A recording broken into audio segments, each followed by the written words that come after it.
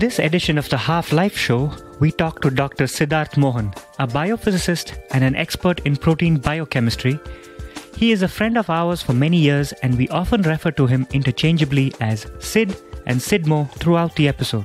He is an excellent teacher who is able to break down even the most complex topics into what he calls despicable analogies. We talk about the fundamental building blocks of life, the wonders and secrets that Mother Nature won't reveal to us, and the implications of learning those secrets on the future of humanity. We discuss drug discovery and how the entire scientific community came together as one to develop and deliver the COVID 19 vaccine to the world. Throughout the conversation, you will hear in his voice the excitement, respect, and wonder he has for science and nature. Through his lens, Subu and I developed a deeper appreciation for the world around us, and we hope you will feel the same through this episode. We talk about his personal journey, his inspirations, and influences, which got him to where he is today. Sidharth is an excellent heavy metal drummer, even though he trained as a classical pianist, and the co founder of What's the Scene India, which showcases and promotes the live music scene in India and has a dozen editorial teams in various cities all over India. Now, on to the episode.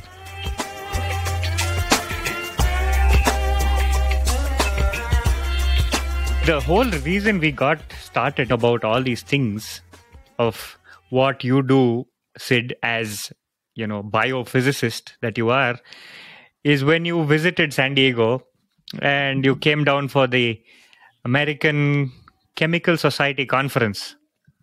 That's right. When you stopped by my place, this is what we did, right? We put up a campfire in the backyard and then poured ourselves a couple of whiskeys and got started on talking about biology and physics and all that stuff. So basically, what we're trying to do is recreate that environment, right? And get you yeah. to say some of those cool things we spoke about. Because Subu over here was not privy to that awesome conversation. So that's uh, why we definitely have to get you on the podcast and now get you to explain those cool things you told me and probably more. No, no pressure. Yeah. And so while I aim to please, let it be known that most sequels fail. And so that is the disclaimer I'm definitely putting up front before we sort of dive into it. And the one, one thing I do want to say is it really helps. I think I, I, I TA'd a lot. I was a teaching assistant in graduate school for, for many years. And uh, you, to explain a lot of concepts, I found myself clutching at straws with explaining things in, a, in an academic way, which is taking the same scientific principle and just sort of rehashing it. So I, I started boiling things down to terrible, absolutely despicable analogies but for some reason they would they would often work. And one of the things that, that I explain is this this idea of this Levinthal's paradox, which I know you guys have asked me about before. And, and the analogy actually is not sort of unique to me. It is it is derived from conversations in the field of protein folding and protein science, where these these chains of proteins are sort of compared to uh, beads on a string. And so the idea of a, a sort of uh, a long sort of string that has uh, and inherently, you know, you can think of it as a as a two-dimensional entity. It's, it's just a bunch of characters uh, on a screen. Uh, actually has a three-dimensional implication, and so that that field of protein folding is is kind of at the core of, of uh, what I do as uh, as a scientist, and and what what fascinated me and sort of got me into the field in the first place. We've all heard of proteins, right? What is the importance of proteins and why is the synthesis of proteins so important to the functioning of the human body or any you biological mean, system for example? Especially because you have a lot of bros right? I mean especially say in office in the gym who are smacking themselves with a, with two or three protein shakes a day. And you know there's this very big you know there's there's there's a big call out for increasing protein, especially in Indian diets, you know, because it's not our, our current diets is not good enough, and so on, right? So yeah, it's uh, that's a good question. Let's start there. Okay, why do we why do we need protein? What's it Why do we need protein? Oh my god, that's a that's a that's a, a jacked question to take your protein analogy as far. As, as you want yeah. to. protein but, shake. But uh, simply said, they are the biomolecular basis of life. It is a, it sounds like a very sort of grandstand, grandstanding type of statement, but it is fundamentally true. uh, you are alive and breathing and you're able to sit here and hear and see and smell and, and taste since we're enjoying some nice beverages because of proteins they are the sort of biological uh, molecules that that perform and execute pretty much all all of life's functions right? They break down the sugar they they help you flex your arm. They are the fundamental biological uh, um, basis of life. They mediate all life and all functions. Awesome. So it can make an organism function better the lack of proteins can kill and you know misformed proteins can affect the functioning of various functions of the body things like that. So you know for all things to be okay all of these proteins and these little molecules have to fold and and look a certain way and kind of behave in a certain way if they have to chow down on a sugar or break down fat or whatever it is right? There's there's a lot of lot of functions and and exactly you hit upon the converse which is that if they are not folded correctly and folding is a very important word we will get to that in a, in a bit then things can go astray. And so disease is born out of that. There's issues health issues and that kind of segues into i think what you were saying Subu that you know why, why is protein necessary for health and why is it necessary for building muscle right? So there's i, I don't obviously know exactly the, the mechanisms of how they are broken down and consumed but in general the idea is that your muscles are made of these these cells that contain uh, a, a particular protein called myosin and that is really responsible for the compression of the muscle and the tissue and the, and that's what causes movement. And so the more of that you have the the stronger you are the, the faster you are etc etc and so being able to really consume protein and and break it down and really metabolize it and force the body to take up that protein that you have consumed from outside means you can put on muscle. You can you can gain muscle mass so to speak. So you mentioned protein folding a couple of times right? And i hear this a lot in our other medicine related podcasts and stuff. And anytime someone says protein folding, this picture of like a thin sheet of paper like mm-hmm. paper folding that's the image that comes to my mind i mean am i in the ballpark or do i have it completely wrong in my head does Maybe one extra dimension added mm-hmm. to it. Yeah. yeah. You're in the ballpark, but it's in a different plane. I would reduce that, simplify it to beads on a string. So beads instead of a, paper that's yeah. being crumpled, right. think of it as a very long chain of these beads. And, and I'll dive into that analogy right away, right? So there yeah. are 20 basic amino acids. They are the fundamental amino acids and the building blocks of proteins. So if you want to talk, talk about these in terms of the analogy, there's 20 different colored beads, let's say. Okay and uh, those beads all have unique properties as a result of their little colors. And uh, so you know you can attach the beads uh, end on end and you can make a chain that's as long as you want and in any sequence of colors as you want right? So if you think about that from a, just a mathematical standpoint there's huge there's a huge space there's a huge coordinate space in which the sequence of these things can exist and and the the the the, the shapes that you can crumple this string of beads into it's gigantic, right? There's virtually limitless numbers of conformations, if you want to call it that. So protein folding specifically deals with this field at the at the molecular level. Mm. Uh, and why is that relevant, right? So okay, so it deals with it, but why is it relevant, right? It's um, so I, I, said that okay, proteins form the the basis of all life. They mediate all these functions. So you know, Pac-Man needs to be yellow and have a conical mouth to run around the track. If he was any other color, the you know DOS would reject reject the, the, the game, and that's exactly the, the same thing with proteins. If uh, you if you have a bead and it goes blue blue red red black yellow green yellow red and if you and you know that forms a chain that may be a, a, crumpled little ball of yarn that that looks a certain way and that can chew down on a sugar let's say right? Now if you change that last bead to a to a purple suddenly the whole thing falls apart. It happens. Now the question is why does it happen? Can i ask you one question right before that? Yeah yeah yeah. This analogy moves fast so please yeah. Are there any protein sequences that are purely a straight line or do they all have to fold and if they have to fold why do they actually fold so they have to fold so there is no real blanket rule nature nature has evolved so over over time proteins are as long and as f- folded as they need to be to do a function. Oh. So it's driven by need, not just by, oh, you know, I have something that's 800,000 sequence, uh, amino acids long. Therefore, it is not folding. Like, that's not the way we think about it. So nature has evolved to say, oh, if I need three amino acids to do this function, I, will bet you money that there's something out there that doesn't. Now, mm-hmm. is there something? Probably not. You need a little more of a three dimensional shape to do certain functions.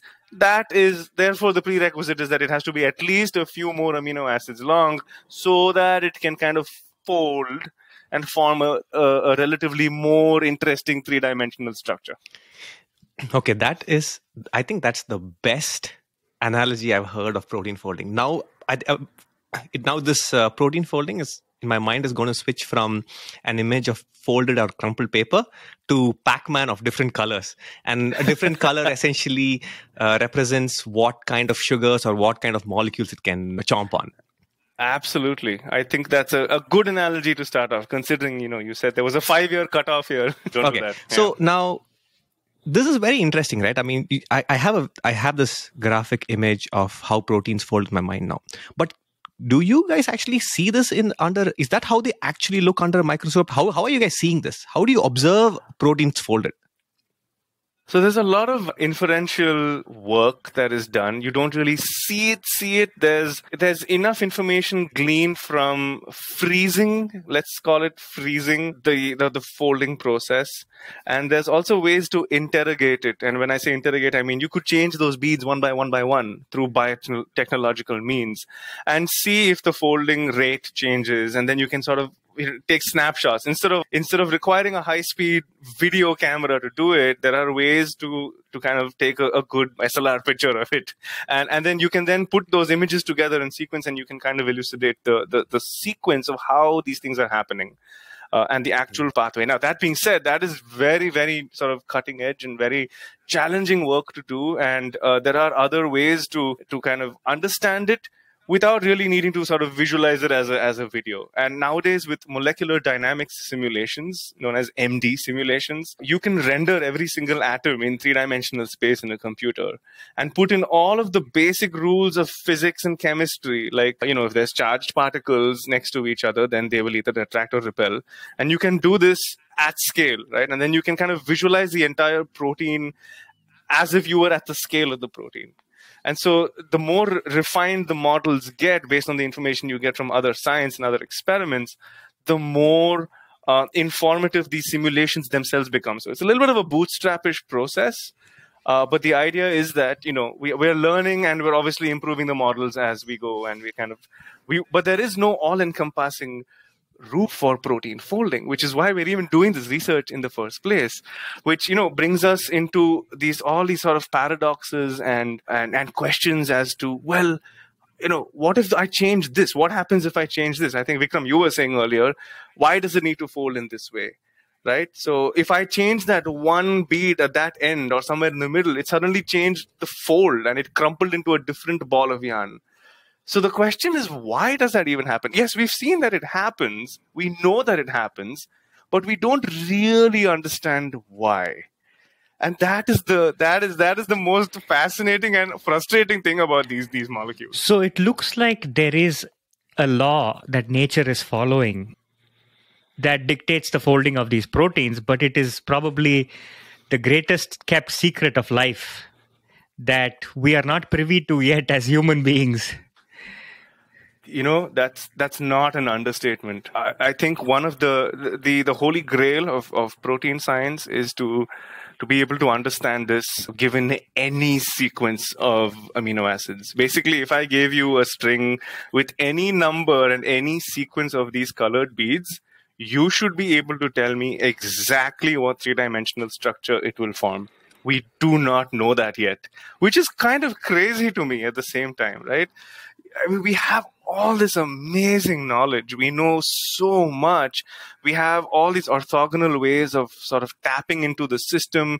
And without knowing this per se, we can still make the most amazing medicines absolutely life-changing, you know, technology out there, just sort of treating it a little more empirically without really knowing the fundamental mechanisms. And that's because, you know, these things are reliable. There are some rules like you like you know like you alluded to. And and we have some understanding of it. And sometimes it's enough to actually have these breakthroughs, whether it's vaccines or it's, you know, therapeutics for cancer or anything. Like, you know, pick any medicine. There's there's so much that we know and yet there's so much that we don't know. So it's it's a very interesting place to be as a scientist.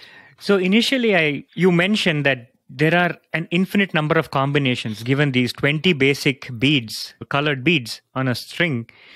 The number of possibilities are endless. So it sounds mm-hmm. like to me it's a gigantic computational issue. Yes. So we have today probably the greatest computing in the history of mankind. We have supercomputers, and I have come across this other project called Folding at Home, which means that you can yes. even contribute your own personal computer and your own uh, CPU, and it's in the show notes. So we have pr- practically everybody's personal computer at our disposal if you're willing to contribute to this project. Yes. So you in spite of all this we are not able to overcome the computational complexity that is involved in predicting protein folding? Sadly, yes, uh, because you cannot brute force this problem. That I think that is the fundamental block. Uh, and why you can't brute force this is because the sample space is gigantic. So, Vikram, instead of so what you're telling me is instead of using my compute resources towards mining Bitcoin, I should rather put it towards protein folding and at least save a life. Yes. And eventually make an NFT out of it, whatever that means in this in this space. You see, right? you know, bitcoins are only 21 million, right? But the past, so how much are you going to mine? There are only 21 million bitcoins. But if you can solve protein folding, you have solved the secret of life. So yes, please contribute to that instead. and uh, Mo, you made a joke about NFTs. None of the three of us know nothing about it, but I'm sure what you said makes sense. because in our, uh, in our space with yeah. this protein folding, uh, you know, the conversation, NFT probably stands for non-folding talk. oh god, I'll give you a B minus on the joke oh my god. Yeah i'll take it. I'll take it. But let's let's talk about this. I know vicky you mentioned you know we have all these computational resources. You would think that you know this is something that's really truly within our grasp and that we should be able to solve this problem. And the reason that we can't is because it's it's just too too large a sample space. Uh, and so we we'll, let's try and use this beads on a string analogy to to kind of break it down right? So let's talk about maybe a five bead string so nothing crazy here. And and let's assume that these five beads fold into something that looks like you know, a little bit of a knot, a small knot. You could hold it in your wrist. Okay, it's a reasonably sized bead, about a centimeter. So you have something that crumples into maybe an inch in diameter. Now, we said that the beads have a distinct relationship with each other, they, you know, based on their properties, some basic biochemical properties, charge, whether they're sticky, they like water, they don't like water, uh, etc. And so that determines the kind of relationship between the two of them. So if you take two beads, or the first two, let's take number one and number two, you know, blue and red. If you if you lock the position of one bead, then the red bead let's just say it can be in one of three angles relative to the blue bead. So it can be either, you know, look at look if you're looking down the string, and if you have the blue bead, the red bead can either be here, maybe so at zero degrees, maybe at you know 120 degrees, and then maybe at you know 240 degrees, and then back at zero. So one of three conformations. Let's call that a conformation, right? So any three angles. So let's look at it this way. So if you're looking at it, think about it something like a Mercedes uh, symbol. Perfect. Right? You've got three places. So you're looking at it. Yes. You want to put the second bead at any of the three tips of the Mercedes symbol. So these are your three choices. That's exactly right. Okay. That's exactly right. And now you extend that to the relationship between bead number two and bead number three, bead number three and bead number four, four and five, etc. Right? So it becomes an n raised to three number of combinations, right? Where n is the length, or n minus one if you want to get into the details, because the first one is locked. Hmm. So let's say for a hundred bead string, there are 99 sets, so it'll be 99 raised to hmm. three. Uh, what I did was I was very generous with the number of conformations that you can use. I said you can do three. Okay. But there's infinite.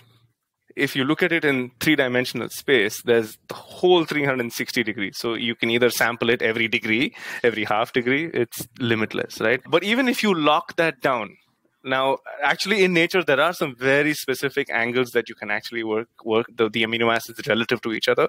They're known as the phi and psi angles. So that's the sort of actual actual limitations of where these things can exist relative to each other. Even if you take those limitations into account, and if you could sample every single combination at uh, a picosecond scale. Okay, every picosecond you can sample one conformation of one bead relative to each other. When you scale it to the length of a protein, given the phi and psi angles, it will take longer than the age of the universe to compute the entire chain's entire sequence, the entire set of folds,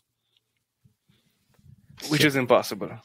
Okay, so but the paradox that that Cyrus Levinthal talked about, I think in 1968, 1969, was that this is a and this is a thought experiment, right? We didn't really, I mean, there aren't really beads on a string. They are amino acids. They exist in real in, in nature.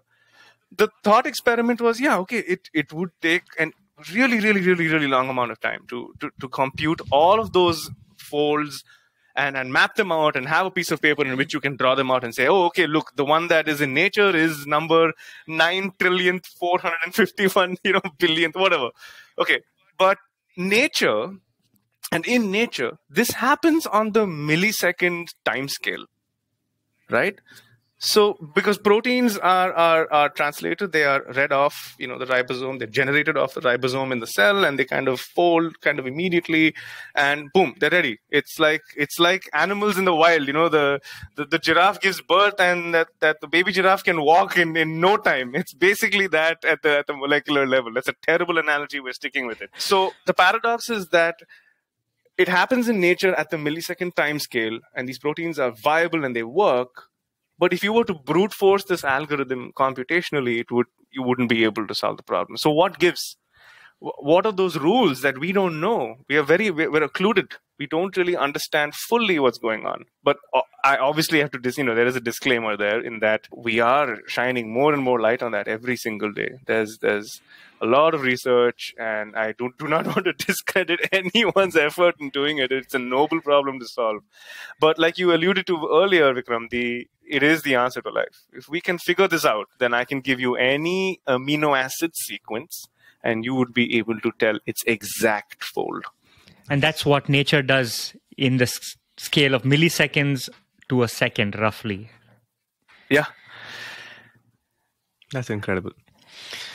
okay so now all of this stuff right all these experiments that you're running so what what does an experiment look like so i'm guessing that a large number of experiments that you run are trying to take x number of amino acids put it in a chain and study how it folds is that what you're i mean how do you what, what are your experiments like yeah, that's one. That's I think protein folding labs specifically interrogate and and try and test different sequences to see if hmm. there's any impact on the function of the protein and you know how long does it take to fold. And some of my research actually had to do with trying to understand the interactions between beads in the sequence hmm. and through sort of relying on what evolution has already done.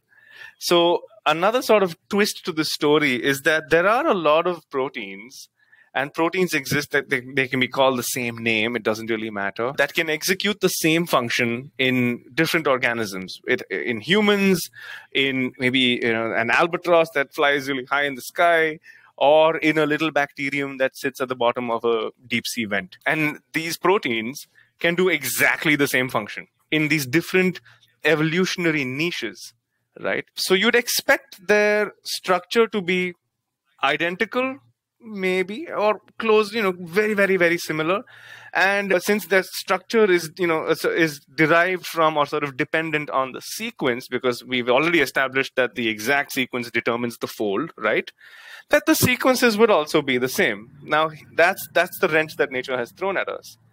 this, these sequences need not be the same, and they aren't. We've seen in nature that there's families of proteins they can that can do execute the exact same function break down the same sugar and and do the same thing in in a metabolic pathway for example but can have slightly varying structures slightly and vastly different sequences so now the, that opens up another can of worms. It's like, okay, wait, what? I thought a sequence determines a fold, mm. and I thought it's going to be only that but nature has allowed for some wiggle room. Right. I mean, very literally, there is wiggle room wherein very similar sequences, and now you can start quantifying what this word similar means.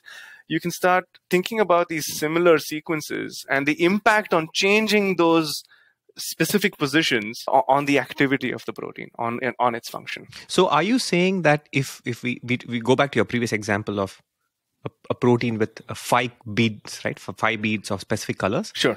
So that could fold in different ways and could behave differently in a bacterium versus an albatross versus a human. No, it could fold in slightly different, different ways, ways, based on the, maybe you change the fifth bead, okay. but it'll do the same function. Ah, okay.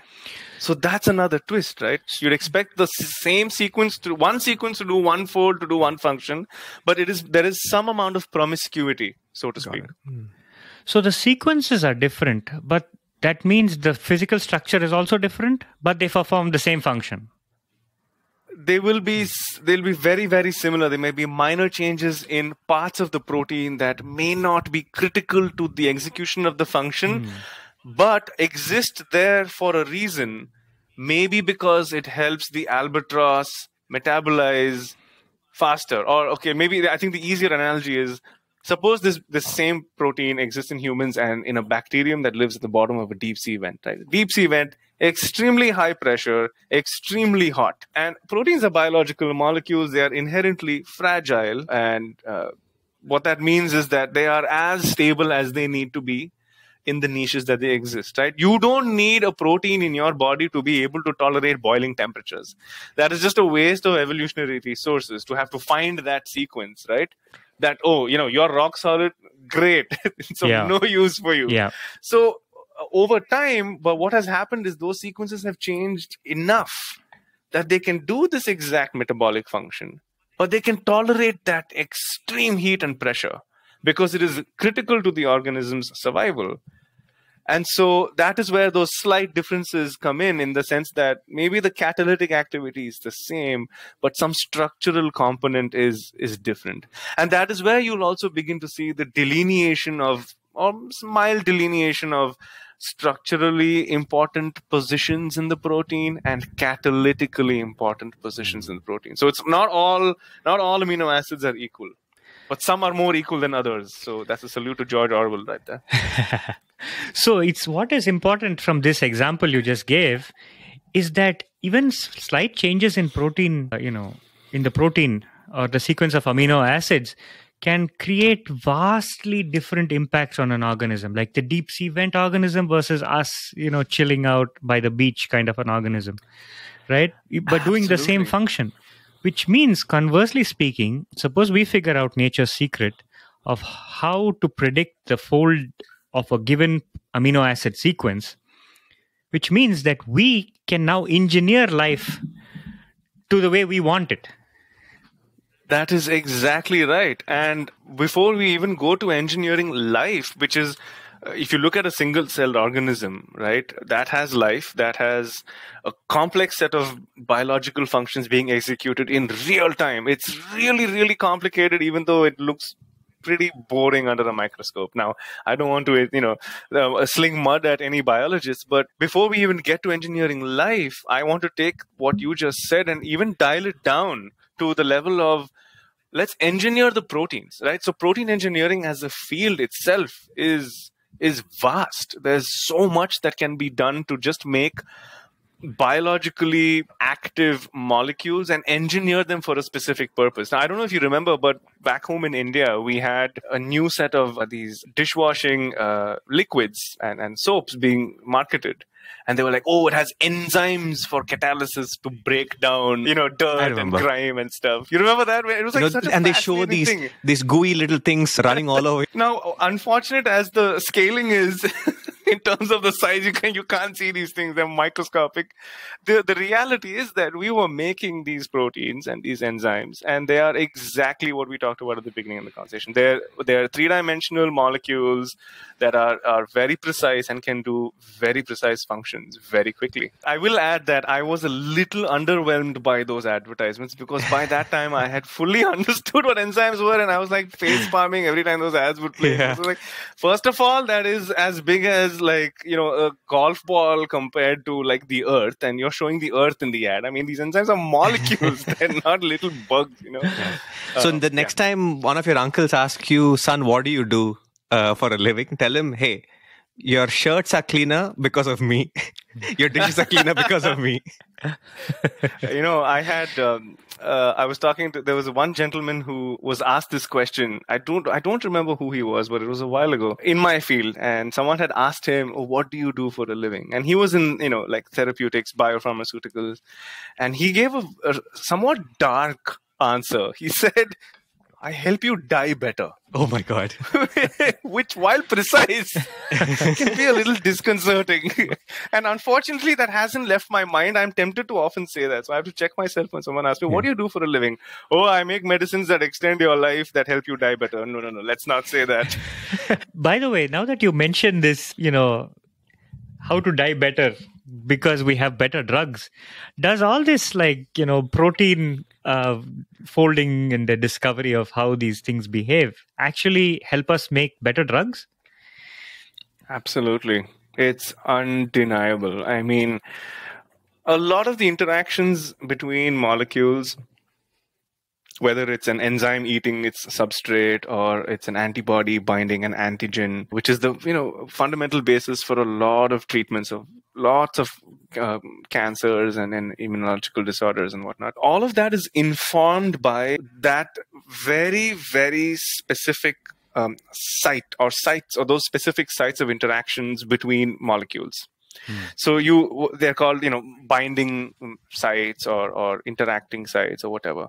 Now and remember that all of these surfaces and points of contact between molecules. Maybe you're trying to block the function of a cell that's gone haywire, and right that can be implicated in in cancer, right? So you want to be able to specifically bind one type of cell, and you want to do this quickly. You want to do this reliably you don't want any promiscuous binding and off-target binding because then the drug is is is doing random crazy things. And and you want to be able to also clear the drug from the system. So i'm capturing very, very sort of very broadly and very I've simplified a lot of the prerequisites for what a, a molecule like that should look, should should be. Like uh, what its behavior in the bloodstream should be. Like you know is it something that you have to ingest? Well if you're going to ingest the molecule it has to survive the you know the digestive tract. It has to survive the digestion process. It has to enter your bloodstream. It has to find the cancerous tissue. It has to bind the cancerous cell. It has to maybe trigger another set of events to maybe uh, trigger your immune system to recognize that troublesome cell and and then you know then the, your immune system can attack the cancerous cell and then you're sort of treated of that cancer. And so you know when, with as far as these mechanisms are concerned i really like talking about them from a from a, like a warring government and agents and spies kind of uh, view. Your immune system is basically a highly coordinated network of agents and warriors and informants and and battle structures and databases and you know stuff like that. And viruses and cancers are infiltrators that's they, basically the analogy right? That's how they override that's how they cheat and that's how they can stay hidden. You know cancerous tissue basically evades uh, the immune system. So uh, a lot of uh, new age cancer therapies and and treatments are immunocentric which is we will not directly target the cancer. We will act as flags. We will act as guides. You know you so you deliver a molecule that can basically specifically it doesn't kill the cancer cell but it it flags the cancer cell. So its only job is to alert your immune system. Hmm. So it is now you can think of it as a, as a as a, as a target like you're, you're painting. It's like you know you're able to get in there you're painting the target and you're and you're leaving so that so that way you're leveraging the body's own system so it's you know quote unquote a little healthier a little safer a little less toxic at least those are the plans and those are the that's the vision of drugs like this So these drugs go in and put like bullseye targets on the problem cells for the immune system to then come and take over. So it's not actually Yeah. you, you know taking care of the problem cell on its own. It's just putting a target on it and you know getting out of Yeah. there, so that the body's immune That's system right. can do it on its own.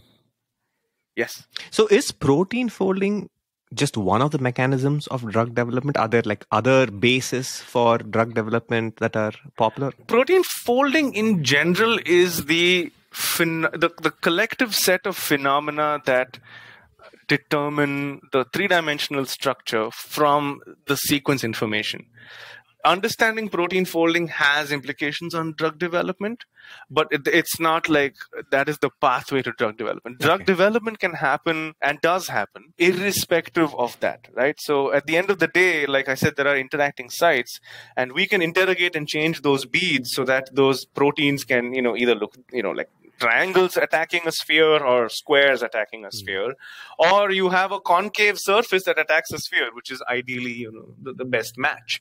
Uh, we can do that without really having to worry too much about protein folding.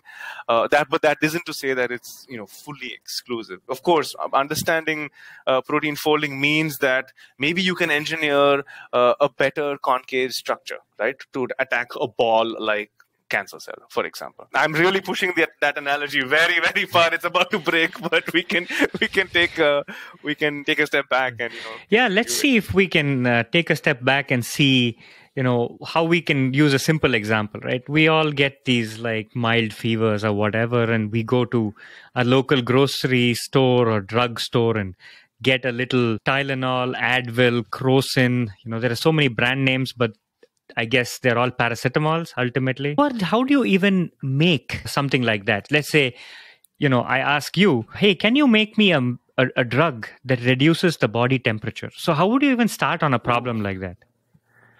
Well, other than asking for a billion dollars, I would require what is called as a compound library. So, you know, back when we didn't really know that much about biologics based drugs and protein folding was not very very well developed as a field and we didn't really have uh, a very good grasp on biotechnological tools.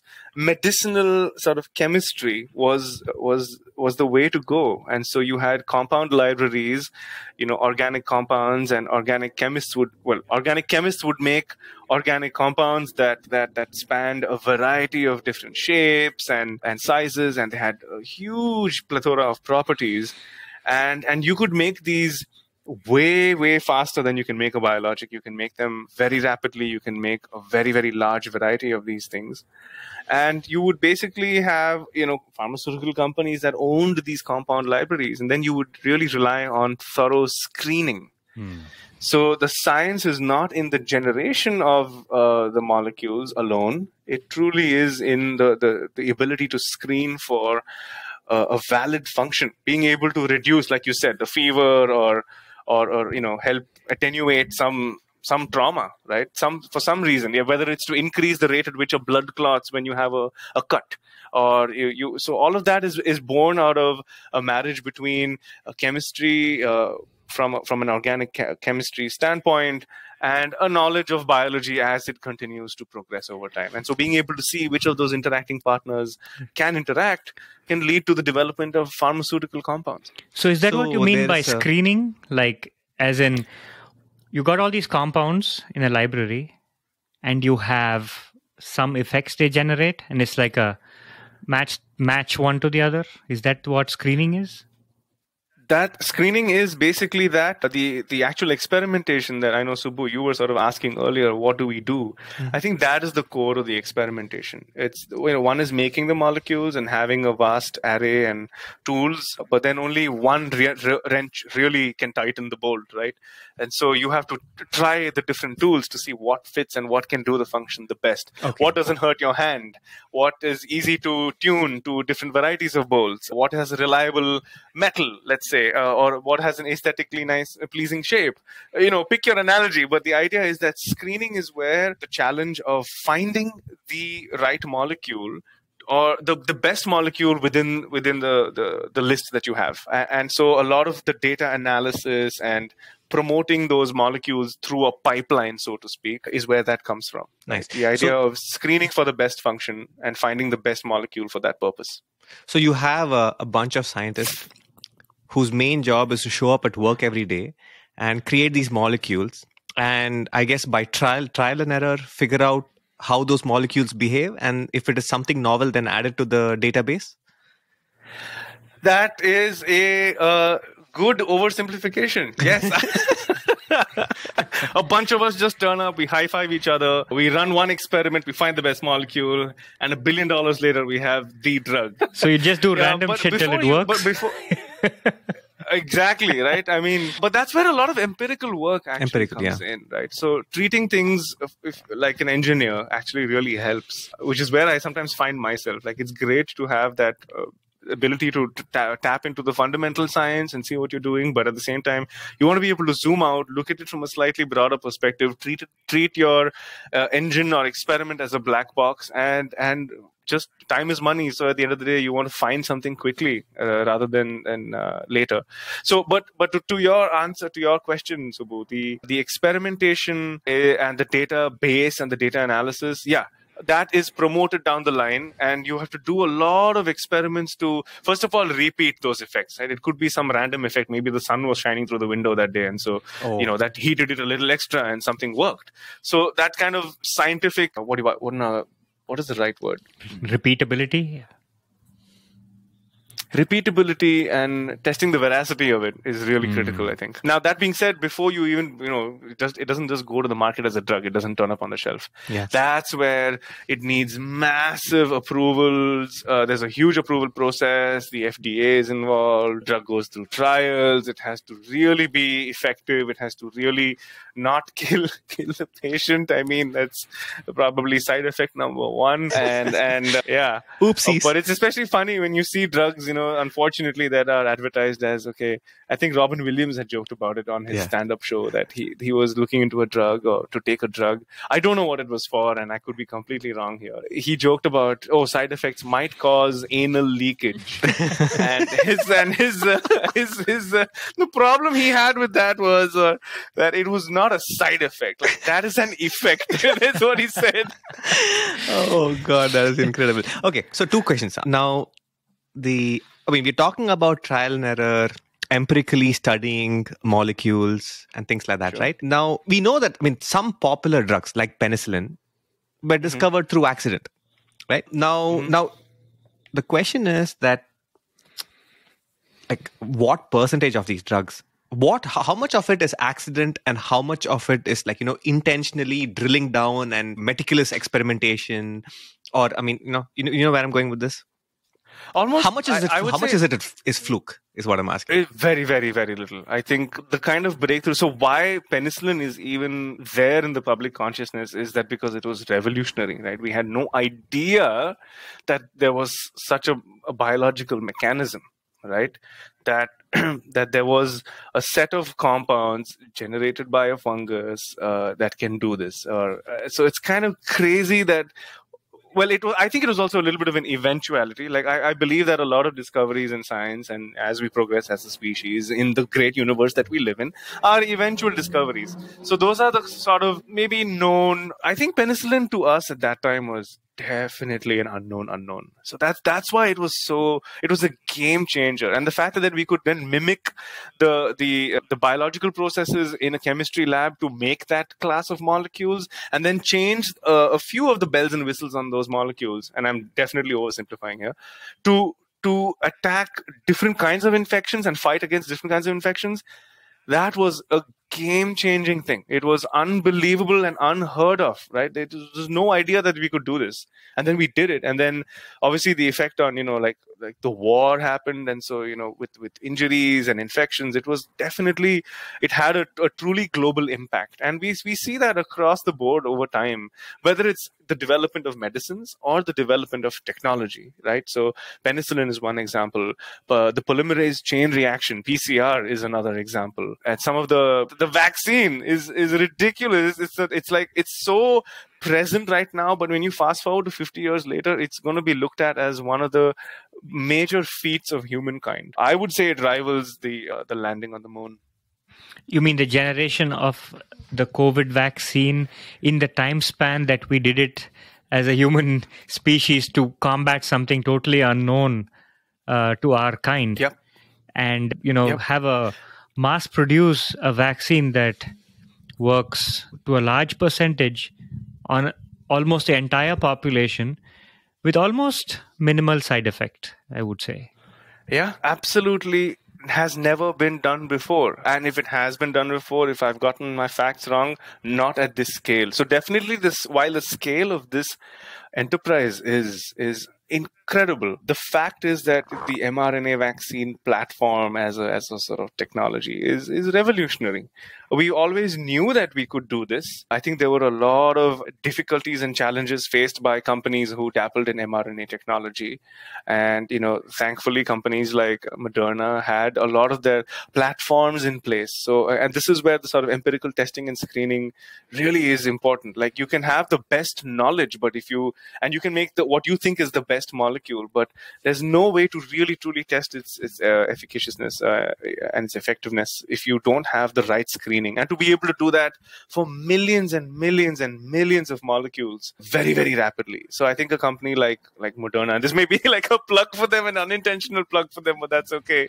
They are they are I think at at that you know they're on the pinnacle right now. But the um the fact that they could do that is is is is a big deal. It's a big deal just for the human species, not just for the company. From a biology point of view, why do you view this discovery and you know implementation of the COVID vaccine and it being mRNA based as some, something so significant to humankind? I kind of stated it from Oh, a uh, layman's perspective, but from a biology point of view, why do you think it's significant? It is significant because we'll need a little bit of a primer before we can apply this layer of paint. So here go the here go all aboard the analogy train once again. Let's so, go. So the basic sort of paradigm of molecular biology is DNA is transcribed to form RNA and RNA is translated to form protein.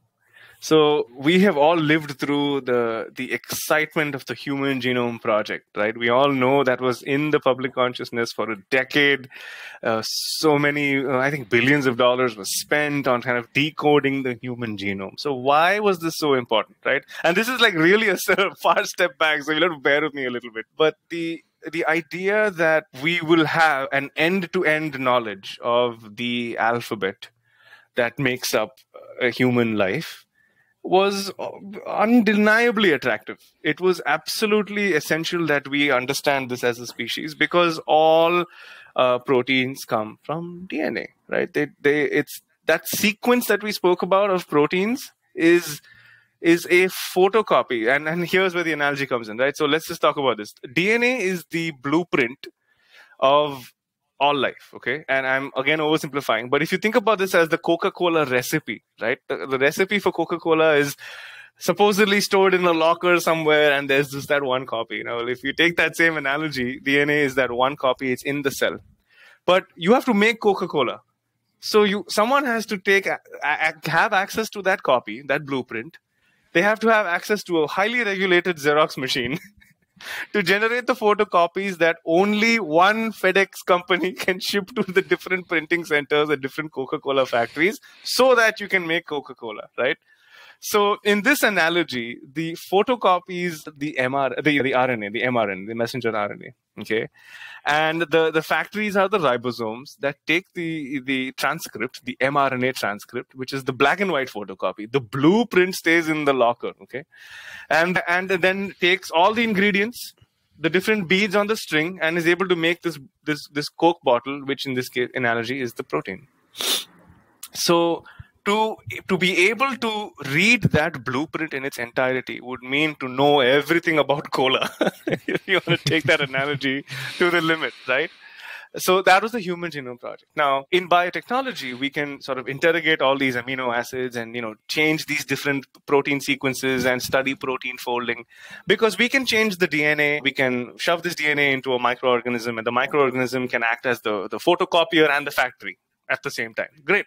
So we can make different kinds of mm, cola. Let's say the cherry cola and the orange cola, based on how what what we tell how we are hacking into the transcript in the in the locker in the in a, or in the DNA in the locker. Okay, so is that analogy okay with us so far? Nice. So far, so good. Right. So far, so good. So yeah. far, so good. Okay, so, so this is a big, a bit of a story. The only problem is those mRNA copies, right? They're like the glasses that Tom Cruise wears in Mission Impossible. They self destruct in five seconds after the message is read. Which is to say that uh, this class of molecules is inherently unstable. And that has to do with the fundamental sort of molecular structure. There's, you know, uh, there's an extra oxygen somewhere, and uh, I'm not going to get into those details. But so it's nature's, uh, you know, layer of, you know, security. Like security because Yeah. you don't want these The- messengers to hang around with copies of important information. So once you deliver the stuff you have to, you know, eradicate yourself, right? Exactly. It's it's a very efficient and also more than the security, it's scalability. Okay. One factory needs maybe one copy. Okay. And then you can have ten thousand factories. And and so you can and, and the moment the factory uses the copy, it it breaks down, right? It's eradicated. But if I kept sending a stream of copies to the factory, I can really make this a highly scalable system. And that's exactly what happens in the cell. You essentially have the one main tra- you know blueprint Mhm. kept in the nucleus of the cell for for eukaryotic organisms or that do, that have a nucleus. And that dna is transcribed. And so there's again regulated xerox machines that forms the mrna. And the mrna then gets translated in a ribosome where the amino acids are kind of put together based on the mrna sequence. So literally the dna really informs what the protein sequence is going to be. That's that's the basic paradigm. Now the problem is that Oh, you think, well, why do we have to keep messing around with the DNA? Why can't we just change the mRNA and hack the system and then, you know, we'd be set, right? Well, that's because the mRNA is unstable. So that's one of the main reasons. So to be able to go and vaccines in general, when we deliver vaccines, and older sort of vaccines, and that sort of typical vaccine, if you think about it, is a protein or a, a a killed virus, right? An attenuated virus, like the flu vaccine that you normally get every year. And these vaccines basically you can think of them as ghosts that you introduce into the cell or into sorry into the human body. And uh, when you introduce these ghosts or the vaccines into the human body your immune system remember it's that informant network and it, that's, that's that spy network. They see they're like hmm this, this this thing looks suspicious. Maybe i should call home guard and tell them to you know prepare prepare some troops and keep them ready and that's exactly what it is you're training the body to recognize it so when or if you are unfortunate enough to get infected by a virus that that the ghost was derived from Hmm. then guess what? Your immune system can go to red alert immediately before that virus and that infiltrator really infiltrates your system and does its job, which is to make you unhealthy. So that's what. So that's sort of we segued sort of very organically into what a vaccine is. But that's a Um, regular but vaccine. that is- host- those are the kind of But vaccines that's that a we. regular vaccine. okay. Exactly. So, uh, so there you think of them as viruses that are attenuated. They look exactly like the real virus, except that they have no properties. They're just a shell Hmm. of its former existence. Okay. Now, how we make that, I'm not going to go into that. Mhm. But the idea with the mRNA vaccine is remember that these viruses are proteins themselves. They have pro, you know, they, they, a protein coat. It's a shell of proteins, right? So let's not forget the basics here. Those proteins were derived from mRNA, which came from DNA. So ideally, you might want to be able to introduce DNA, and then your body doesn't discriminate. It says, "Yeah, it's DNA. I guess we, you know, we'll send it to the uh, photocopiers. We'll make some mRNA. They'll make some cola, whatever. That's what that's what you think the body will do. The body's not that naive, right? The body's also a little regulated. It's like, hmm, this looks suspiciously different. I don't trust this document. Maybe the spies are trying to outspy us and it, it can get really messy. So unfortunately, this analogy is being pushed to its limit. But hey, that's that's what we do. So the idea with mRNA vaccines was let's introduce the mRNA, circumvent that security in the main locker. Let's just go straight to the Xerox machines. That's, that's kind of what that's kind of what we're trying to do here. Okay. So you're giving the body enough information. It's useful. You're not you're not really you know trying to destroy the body through the vaccine like that mm. defeats the purpose. So you're trying to give the body. It's think of it as a benevolent third party Okay. A benevolent third party has infiltrated both sides of the war mm. and has said, I favor one side. so I'm going to give the body, the team on the left, which is, you know, the, hum- the humans that want to survive. They seem like good people. Okay. Some, some information that might benefit them. And so, so suddenly the body's like, whoa, there's this photocopy out here. It's, it's like oh my god, it's sugar free cola. I guess we can make this. it's friendlier than regular cola. So I guess what we're doing is yeah. we're telling the the messenger RNA, don't go to the, the to the nucleus of the cell where you normally get your instructions. Why don't you use this instead to make some photocopies? Yeah, you're telling the ribosome. Yeah, yeah. The the mRNA is the photocopy. So oh, you're coming in with the fresh okay. photocopy, saying, "Hey, hey, guess what?" Like, oh, okay. So you kind of. I mean, there's a there's a little more yeah, that goes yeah. on. There's a little you bit of a back and this forth. This is like a... that. You know, in your in your exam in your high school, you have a little chit with the answers, right? A little help on the side. So this looks like that. Yeah. the things I've had to resort to. Huh? I'm kidding. so we basically gave a cheat sheet or a, one of those chits to our body. Yeah. And that's essentially what the COVID vaccine is. Saying, here you that's go. That's what any vaccine this is. exam. Yeah. It's just that. Oh, actually, let's take, let's take a different analogy. So the no, say the teachers have figured out that the students are passing chits. Okay. Okay. So you start writing them in Morse code. now they can't read it. Everyone in class gets it, but the teachers can't. So yeah. So that's how you fool the body into accepting this new set of instructions and to trick the yeah. factories into making more proteins based on these instructions you just gave. And what is the protein that the, that the body is going to make? It's going to make the the, the COVID uh, spike protein. Mm. Yeah. So then you're making the ghost. Mm. You're not just delivering the ghost to the body. You right. gave the body the blueprint to make the ghost, which is like some next level next operation. Oh my god, dude! I haven't. yeah. Seriously, this is such an enlightening episode. so this is why it is like a feat. This is not, never been done to this level it of scale, where before. you tell the body to make the ghost instead of giving it the ghost, which yeah. is what we've done for decades, right? Giving the ghost. Now you make it yourself. Yeah, and and the, speaking to the scale of the operation, you know, p- people had concerns about, oh, it happened so quickly, emergency use authorization, this, that. So, without me getting into the sort of uh, b- b- geopolitical Politics. landscape of this whole thing, I think the idea here, what what organizations did, and kudos to everyone who worked on all of these teams, literally from the truck drivers to the scientists. Like, it doesn't matter. Every single person here knew that there was a worldwide crisis that needed to be solved and stepped up to the plate. So, first of all, it's a it's human spirit aside from the science mm. like that to me is is unbelievable that there's a group or there's groups of people out there that just got it and did something about it. So that to me is just like yeah. chilling. Like like right now I'm getting chills just thinking about it.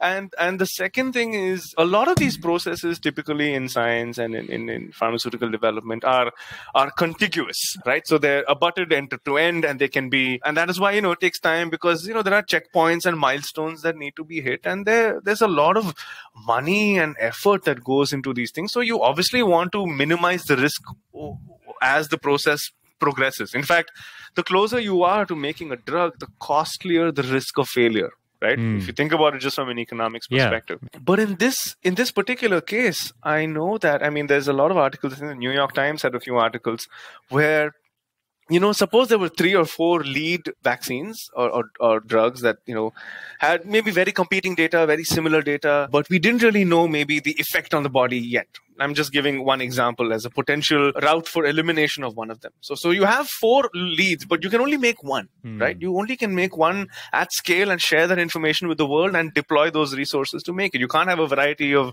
uh, the same drug. It just doesn't make sense to do that because then you have heterogeneous effects. You know, maybe someone takes one and the other. Like it can be crazy. It can be an absolute storm that you do not want to weather. So, but but in the spirit of reducing the timelines the manufacturing side for example would make all four at scale ready to deploy Hmm. and then when the one was promoted they would kill off the three Oh my God. so we willingly took on having to waste resources precious resources because we needed to save time so the groups of people who made those decisions, I mean, I salute them. It's incredible that we had that forethought, and it's so unfortunate that we had to waste some money and time and, and resources, but we needed the, the vaccine yesterday. See, that is the Always. thing. especially especially in the beginning the especially the beginning of the whole covid pandemic right in the first month i remember i mean we all didn't know what we were up against as a species Yeah. and it was you know the roads were deserted and like in the first few days a lot of people including me we stocked up on groceries and you know stocked up our pantries. But 3 weeks later or a month later we still were in the same spot. We didn't know what we were up against because the death toll was rising and uh, hospitals were uh, inundated. And then i had to restock my groceries. So i go to this uh, local big box store and it was you know a scene from one of those uh, movies like contagion where they allow it's a huge big box store and they're allowing only 10 people to enter at a time.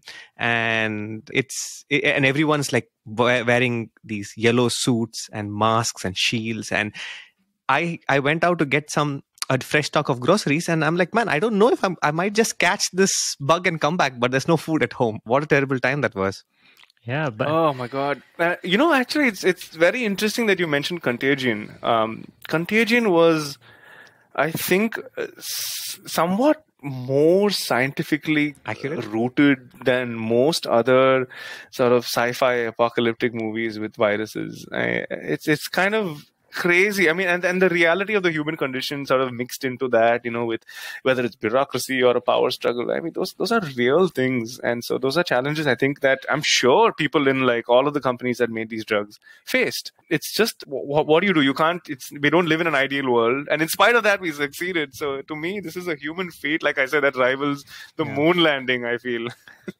That's a good explanation. I think uh, it really cleared that up in my mind, at least, as to why this is so amazing. This is Yeah, Yeah, yeah. I I, didn't know. I mean, I, I have a newfound respect for this this type of a vaccine. I didn't know after all those countless podcasts and other stuff that and news articles I've read, I didn't have this kind of an understanding as you explained. So, thank you for that. So now Vikram and I are both electrical engineers, right? I mean, we are hardware engineers.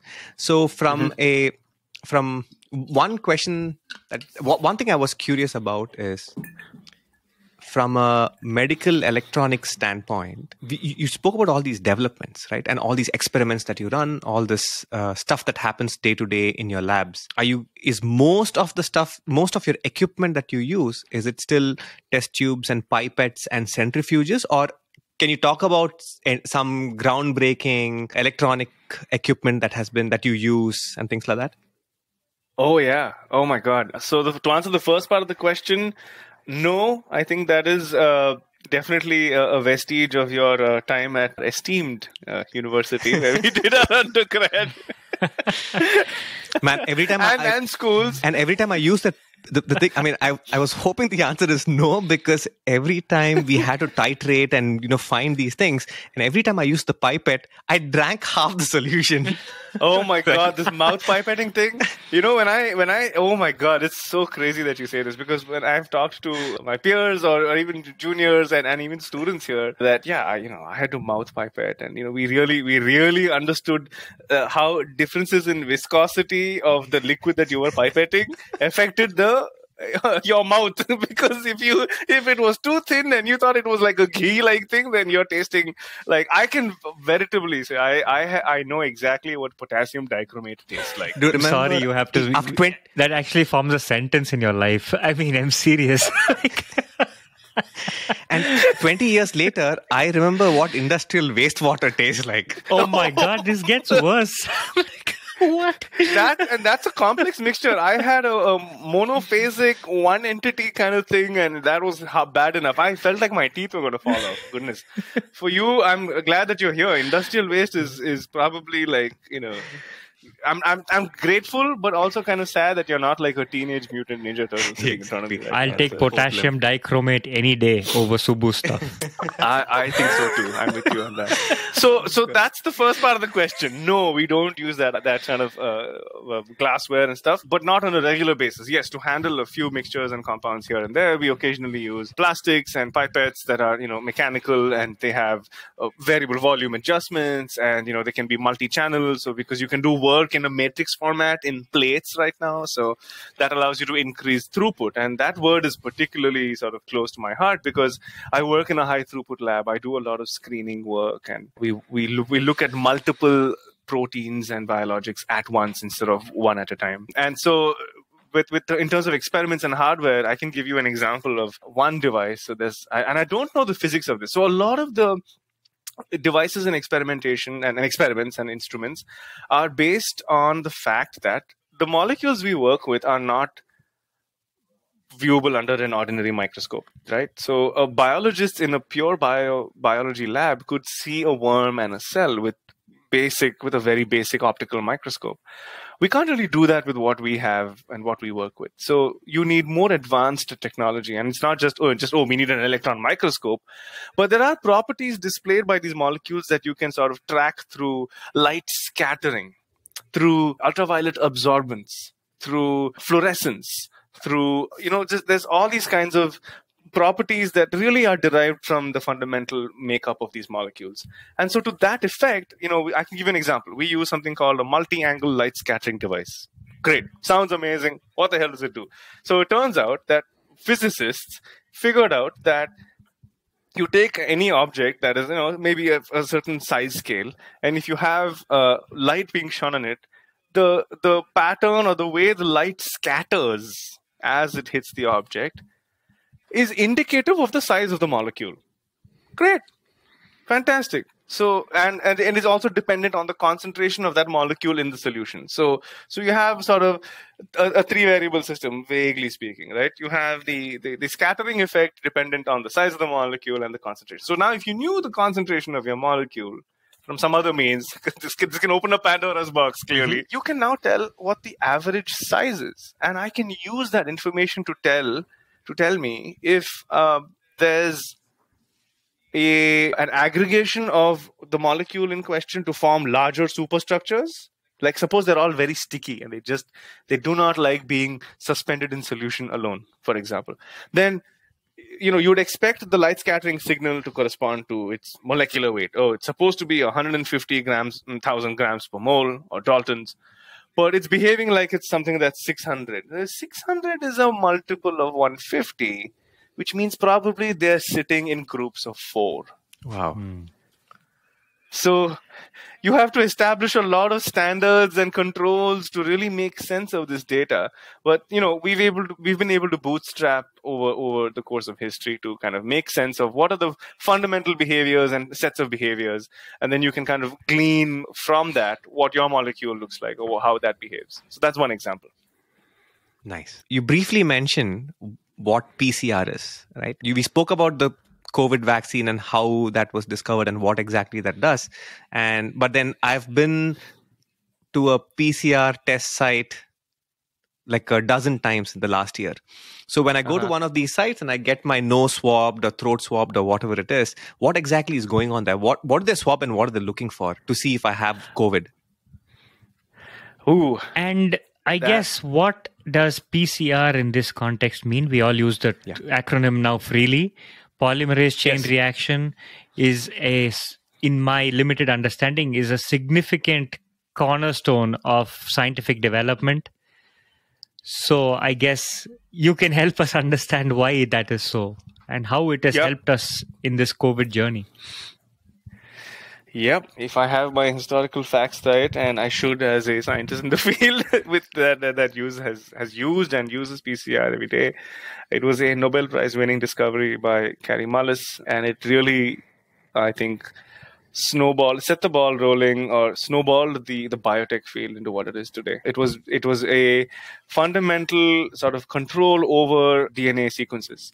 You could you could alter and mess with dna and and change the sequence of dna which therefore means you can change the sequence of proteins as we now know to to your to, to your benefit to whether it is to explore a function or to to make a drug or, or to test something right? So the idea of taking um, some some some known DNA, changing it, shoving that into an organism in like Escherichia coli bacteria, and and then having those E. coli bacteria pump out that protein at, at a relevant concentration in relevant amounts for you to do some biophysical tests meant that we could start doing protein engineering work really that's just the long story short in terms of what pcr is and why is it called polymerase chain reaction and every time i say the full-fledged sort of the, the expansion of pcr i remember this rather terrible movie with Keanu Reeves and Morgan Freeman called Chain Reaction. I don't know if you guys have seen it, but it had something to do with these fusion reactors and a runaway chain reaction. And, you know, obviously everything goes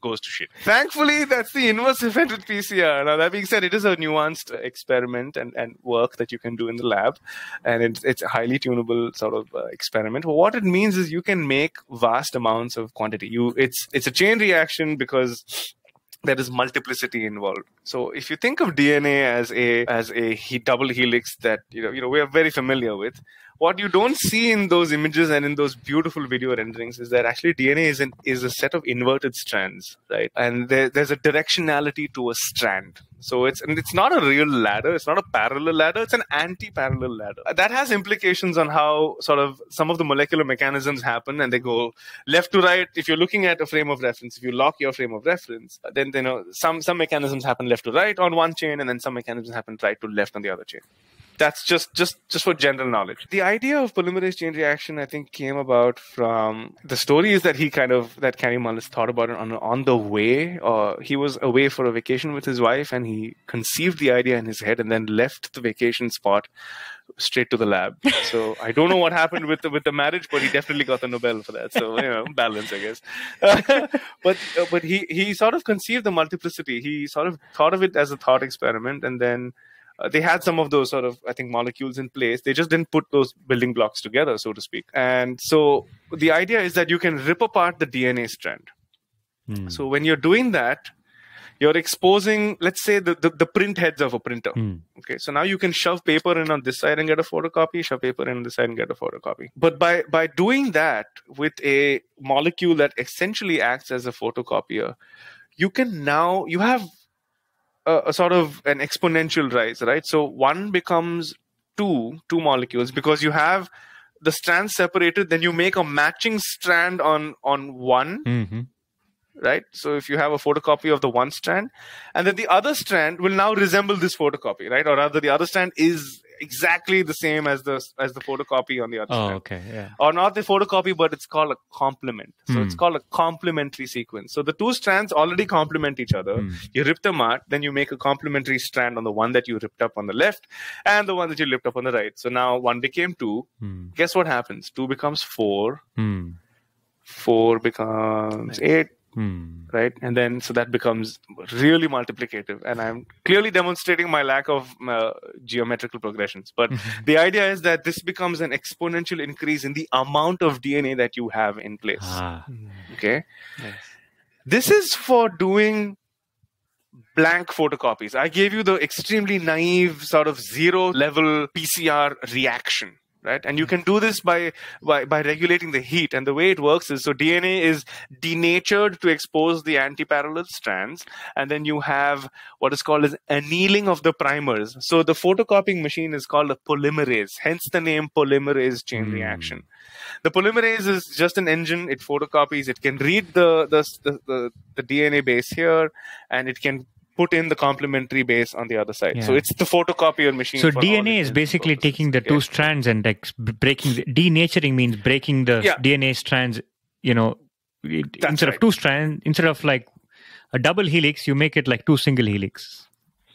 two single helices, and then and you, then you take some clay so them. and then you basically take some clay and create a mold you stick it to each of the each end of the strand and you get Yeah. essentially like a like a mold of what it looks like It's like, it's like fission in cells, right? If you if you've seen cellular reproduction from under a microscope, they're just like cleaved in half, and then you know that that gets. Hmm. But actually, what's happening at the molecular level in the nucleus is the replication of DNA, and it looks exactly the same here, except that we are doing this in the lab, and we can control the way it happens, right? Which is hmm. crazy if you think about it. You've mimicked a biological process with temperature. Now, why is temperature important? Because the the, the way it works is there's like three broad steps, right? So you denature the DNA, you really boil the crap out of it, and then you anneal the primers. So remember that hmm. the little it needs a little bit of clay, like you said, so at the very beginning of the, the of the strand, so that the photocopier can start doing its work. Hmm. Okay, and so the annealing happens at a certain temperature, the reading happens at another temperature, and then they kind of seal. So now you have two copies, like we said, and then the two becomes four, the four becomes eight, etc., etc. Now, the really cool thing that you can do with PCR and why it's so revolutionary is like not only does it the, the, the zeroth level is powerful in just making so much so much more DNA that you that, that you need, is that in that annealing stage, the primer that you put that allows the photocopier to start can have a forced error. Okay hmm. that forced error or a mismatch means there's some some length of that complementary that sequence that you put in the little bit of dna that you put in that doesn't match at every single base to the parent strand Okay. there's a parent strand you introduced one primer. You thought huh it'll be exactly 8 tcc it'll be the matching sequence and then they'll continue. Everyone is happy. No you force the error hmm because you want to make a, an amino acid sequence of your choice. So you're going to make sure that the DNA sequence matches that amino acid sequence, but based off some parent DNA, right? So through forcing that error, you will now, and if you do the math, and I'm not going to get into it, you're going to get only the predominant species in the population as this explodes exponentially Yeah. the predominant species in the population is going to be the DNA of your choice hmm. with that forced error because you wanted to make that. So now you can take that error, errored DNA, or rather your manipulated, cloned DNA, hmm. right, and put that into a cell and make the protein that you wanted to make. So you went from intent to execution hmm. because of PCR. Hmm. You could never do that before, or you could, but it was very, very, very, very hard, hmm. very laborious, very, very trivial, very difficult to do at scale. You can do this in a in a school lab. It is taught at the school level nowadays, which is ridiculous.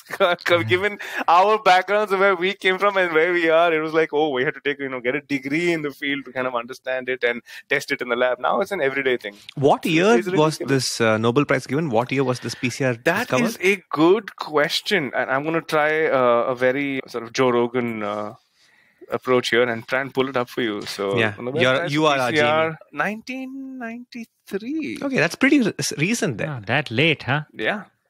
It's think about it, right? So, in from 1993 to now, we've uh, we've got mRNA vaccine technology yeah. that is solving a pandemic level problem. that's ridiculous. So, in the PCR Incredible. test that we do by swabbing our noses for COVID, ah. what happens there? They are so we know the sequence of the spike protein and so we know what its dna can look like and so i believe what they're looking for is the presence of that genetic information in the swab which means that the virus is present so you are directly probing for the dna sequence Hmm. that the virus has so if you think about it the virus has its genetic information Hmm. You're sending in the known photocopy saying if the photocopy happens correctly and 25 repetitions later i have 2 to the 25th number of copies holy crap you have the virus. That's basically it. So you're using the photocopy machine to increase your signal to noise ratio to tell you if there is actually that genetic information which is criti- indicative of the virus or the presence of the virus. So your the forced error here is the virus's sequence of DNA. yeah the vi- it'll be viral related sequences Yeah. And when you introduce so that goes into the tube Yeah. Mm-hmm. And if the dominant process, the, the, the dominant sequence that arises when you do this exponential multiplication of Mm-hmm. DNA, if that matches the original sequence, you have COVID. Because what multiplied virals yeah was the Yeah. COVID's virus sequence, uh, DNA sequence. Exactly. And not That's yours. exactly. Uh, that is correct. You're not looking for your sequence. We, I mean, that kind of information is, first of all, irrelevant in this context, Yeah. right? We were, we're checking to see if you have COVID. And secondly, can you imagine if every single testing facility, I mean, the implications of storing uh, an individual's genetic information is, is, it's, there's huge implications and, you know, there's ethics and, and, and regulation and regulatory stuff. So that's obviously much more challenging. So what you're really looking for is, is there viral genetic information at some level Hmm. in your nose? Hmm. If you, if there is, then it is, we're not just saying, oh, you know, there's, you have the virus. It's very, very likely that you do. Hmm. Yeah.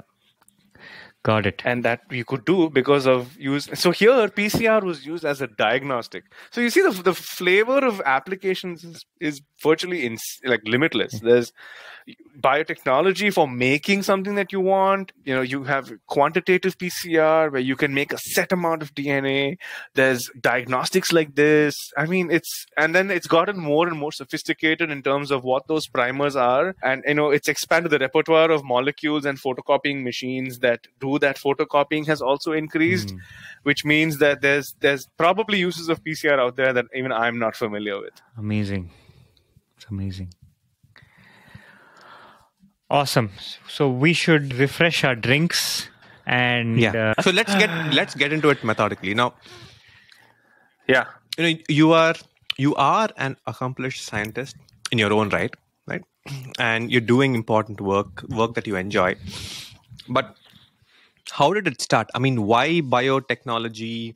Why this line of science? And have you thought about, you know, did you get into all of this by accident and by you know just circumstances of life and decisions back then? Or was there a do you do you feel like it was an ob- obvious tra- trajectory that led you to this No, there was nothing I think obvious about it. And while one can argue that oh, hindsight is twenty twenty, and you know you look back and you say, of course, yeah, that this was inevitable. At any given point in time, you know you're always trying to operate from the perspective of I'm going to make the best decision I can now with the knowledge I have, hoping for the best in the future. That's it. But there were some I think key. Uh, milestones, right, in this trajectory, so to speak. One of them actually overlaps with you guys, which is kind of insane. I think on a previous episode you talked about. Uh, surely you're joking, Mr. Feynman.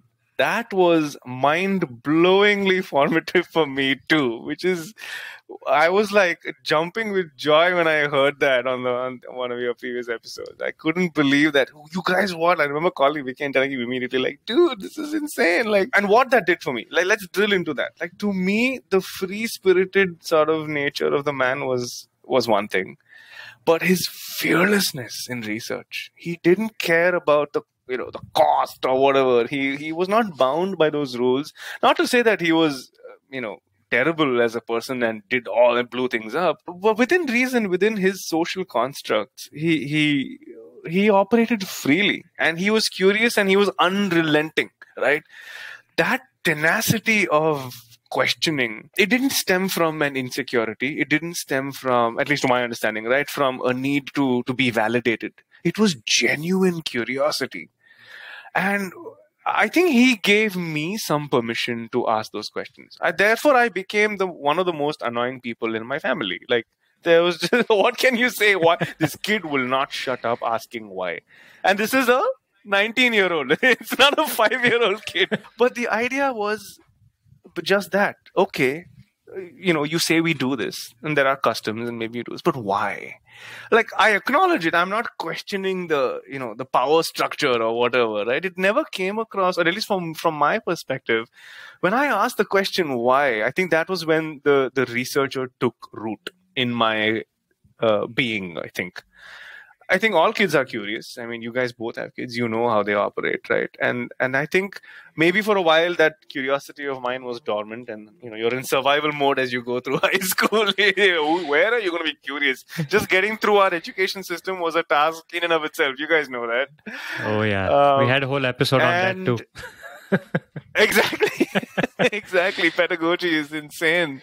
It's a big big topic. So but yeah so the permission to ask why and never really stop right? The, the frame of reference keeps changing when you ask that question. And then uh, thankfully having the tools to kind of adapt and let your brain kind of wrap itself around those concepts and and be satisfied with the answer that you are given then but probe the next level probe to the next level. I think that that was where the researcher really took root like i said.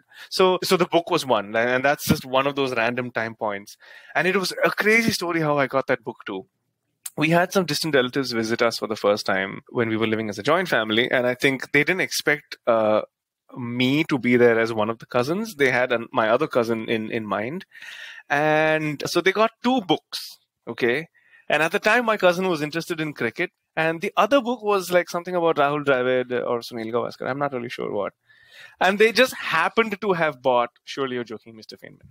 Incredible. Thinking that they would give it to my cousin. But then what they saw two kids in the house, and so they gave one to me and it happened to be that.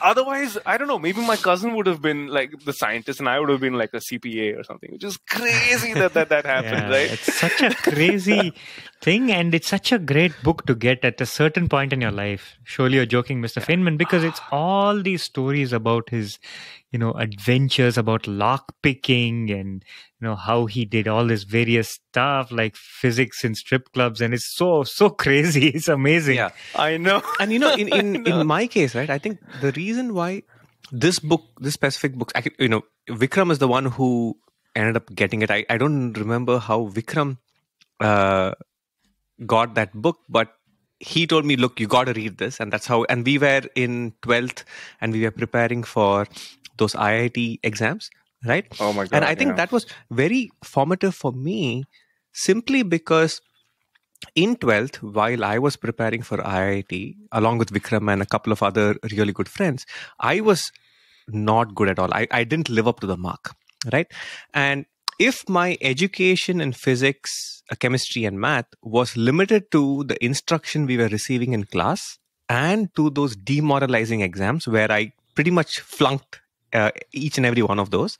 So if my if that if my exposure to physics was just that right instruction in class plus exams then i would have totally ditched science and gone into economics or done some ma or something like that right? And i would have concluded that it's not for me.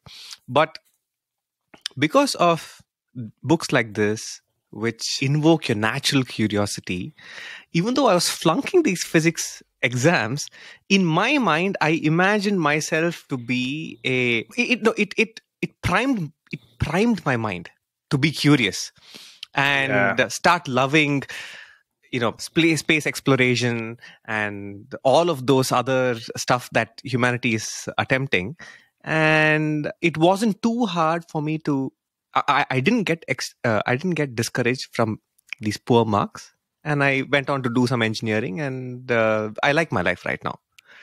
That's that's uh, very uh, self-effacing. He went on to do some engineering, pursued physics and uh, physics-like fields, in spite of not doing that.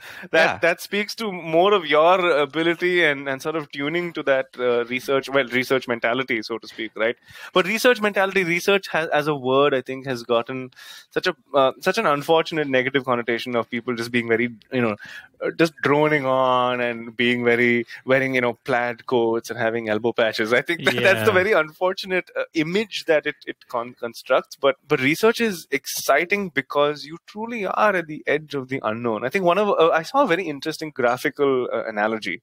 So when and, and this is uh, like drawn out on a paper, and I, and I think I may have told you this in the past, Vikram, but we'll just talk about this again. So human knowledge as explained on a two-dimensional canvas okay so when you're born you are a dot you know nothing your consciousness has just emerged so to speak and so you're just learning to speak walk eat, sleep, fart, poop, whatever. And and then as you grow, that circle expands and becomes, you know, say a centimeter in in uh, diameter on a, a, scale of say the, all human knowledge being maybe the the, the size of a parking lot. Let's just say that. And you, your circle is maybe one centimeter. And as you grow, that circle keeps widening. You know, you get a degree. It becomes really quite broad, and you have a good understanding. You know, you're in your twenties. You've you've gotten through a, probably a very critical phase in life as we know it. Right? To to be able to get through your twenties is a parenting win. It's a genetic win, right? As far as the the, the biology is concerned, you are primed to now pass on those genes uh, in this social con- sort of construct to the next generation and procreate and etc. Now, when you do something like like an engineering or a master's and you start really specializing, that circle starts becoming uh, more egg shaped. So your, there is now a directionality and there's a vector to your knowledge on this canvas. Okay. And when you get a PhD or an advanced degree, even a master's in that sense, it that oblong shape uh, now it's actually expanded into an arrow that goes right to the very edge of this parking lot. Okay? Which means you are now literally the world expert in this. Like there is nobody else who has done what you have done and knows what you know about this very, very, very narrow topic. So that's why it went from being like a shape that had some area to it to being a line to the very edge of human knowledge. And then to do something path breaking is to take that edge of the parking lot and they, they show, they zoom into the kind of line in this next graphic in the window and it creates a small bump. It ex- extends the boundary mm. by a millimeter. Hmm. thereby broadening the entirety of human knowledge. Yes. Isn't that a brilliant analogy? And yeah, just to see amazing. this kind of visually was it's amazing. It's was, amazing. was really something. So, and that little bump in human knowledge is is a plenty of a lifetime achievement uh, for most people, even. yeah. Yeah, yeah. To be able to do that means, you know, and and like you know, the framework of regret, as I like to call it, is like, oh, if and when when when the time comes for you to to to move on you know maybe you maybe the bucket of regrets you have is is tiny and so that framework of what your regret looks like when when it's time for you to die as however morbid that may sound needs to be needs to be healthy. It needs to be something that you know you don't care about your overall career progression this that and have you lived a good life? Have you done something good maybe? Have you you know minimized the number of regrets you have? And and if you've done all of this while doing path breaking work and making money and being well loved man that's that you're a hero. That's like the dream. those are rare. Yeah, that's the dream yeah. That's the dream yeah exactly. And and then but then that's also not i think truly an unachievable goal for folks like us who've had the backgrounds that we've had. And when when i speak to students back home in the same colleges that we went to i tell them this. I think the first question is born out of insecurity when it comes from the audience. Oh what about jobs? Sure that is a valid question but not to not to sort of decry that that line of reasoning and thinking. You guys are going to have degrees from these universities you are going to be able to find those jobs. You will work hard and you will survive. So trust yourself, trust a little bit in the process. But that's the baseline. Go beyond that, right? Push for your interest, push for what you want to do. You like if you are insecure about it now, that's that's healthy and that's good, but it has to kind of you have to contain it and hold on to it and be inspired. And holding on to that inspiration and seeing it through and eventually achieving your goals that is the accomplishment. I think the the preconceived notion of I will be successful from off the bat. That's it. You know, I'm going to graduate. I'm going to get the best job in the world. I have achieved my life goal. I, that doesn't happen. I mean, that's unrealistic, right? That's right. Yeah, I think a lot of times you have to define for yourself what success means to you. Like, is pushing the edge of human knowledge one millimeter is a major form of success. Most people can only dream about you know you can earn billions of dollars and not do that but you know there are people who you know the guy who invented the zipper didn't make a penny so you know i mean but we all yeah. use it everywhere yeah. and i do consider that a bump in one the, the 1 mm of human you know knowledge because Absolutely. You know, it makes life so much better for all of us but so you know to each person has to define what success means and where inspiration comes from for that, right? I mean, like we all spoke about Surely You're Joking, Mr. Feynman. Such a good book. We all have common roots to that book, I suppose. Yep. But I'm pretty sure that we've all come across people in our lives who have driven us towards these things. Who are some of the people that drove, you know, you towards being inspired in the field of biotechnology to get you where you are today? Absolutely, that's a great sort of a, a, cornerstone or a pillar, I think, for for anyone who does any kind of research. There's either one or, or more individuals who who've done that for sure. It's it's there's no single uninspired researcher, right, and, or or musician or whoever. I think yeah, it's all a form uh, of yeah, exactly. So the for me there was there were a few people. I think there was there was a Mr. Vasu who was my 11th and 12th standard uh, teacher. So this is uh, high school here, uh, who taught uh, chemistry and he taught us physical chemistry. So this was some of the quantum stuff mm. that hmm. was really exciting, like electron in a box and stuff like that. Mm. And it was just like I could not get my head around the the, the fuzzy logic of uh, you know the, the, the wave particle duality mm. and things like that which is insane and you just have to accept it and then later on you fast forward 10 years later when you listen to uh, feynman in these youtube videos and he explains you know a rubber band and, and atoms and and he says that it would be unfaithful to explain something in the example in the context or through an analogy of something else because that would also reduce to what you are trying to explain now so at so, so he says that he'd be cheating you if he did that. And so he says you at some level or at that level when you drill down to that subatomic level, you have to just accept the reality for what it is. And yeah. that to me, uh, hearing, you know, Mr. Vasu say that in like 2001 and then fast forwarding to like, I don't know, 2020 or uh, 2021, say 20 years later, that is an immovable truth that just is. Mm-hmm. And that there's some beauty in that, I think. Mm-hmm. I think there's uh, getting that validation when my brain is obviously changed and is less neuroplastic, mm-hmm. I would mm-hmm. say, is is mind blowing to me that that is a reality that just persists irrespective of your belief system. Being able to see that you can engage in dialogue and argue the science and just bash your head against the wall saying, I don't understand it. Like, I understand the premises, I understand the building blocks, but the, the concept doesn't materialize in my head. And Mr. Vasu would, would smile and, and he, he knew what we were going through. Like that level of mm-hmm. scientific empathy, let's call it that, yeah. was now when I look back, was that's it. That became a cornerstone. Yeah. And, and, let's rewind the clock. A few years before that, in middle school, middle to high school. So let's let's talk about seventh to tenth grade. There was another Mr. Hart who taught us physics and math. What, what really made it work for me was the clarity with which he taught things. So it was not just shoved down the throat. It was you were baited enough to to to walk down that path and let your brain wrap itself around physical concepts.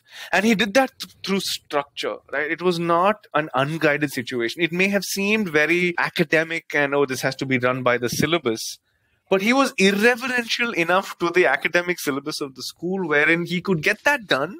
You could do well in the exams but you also had understanding, which to us, as yeah. you guys know, yeah, was right. like mind blowing if you had something that yeah. really you could connect with.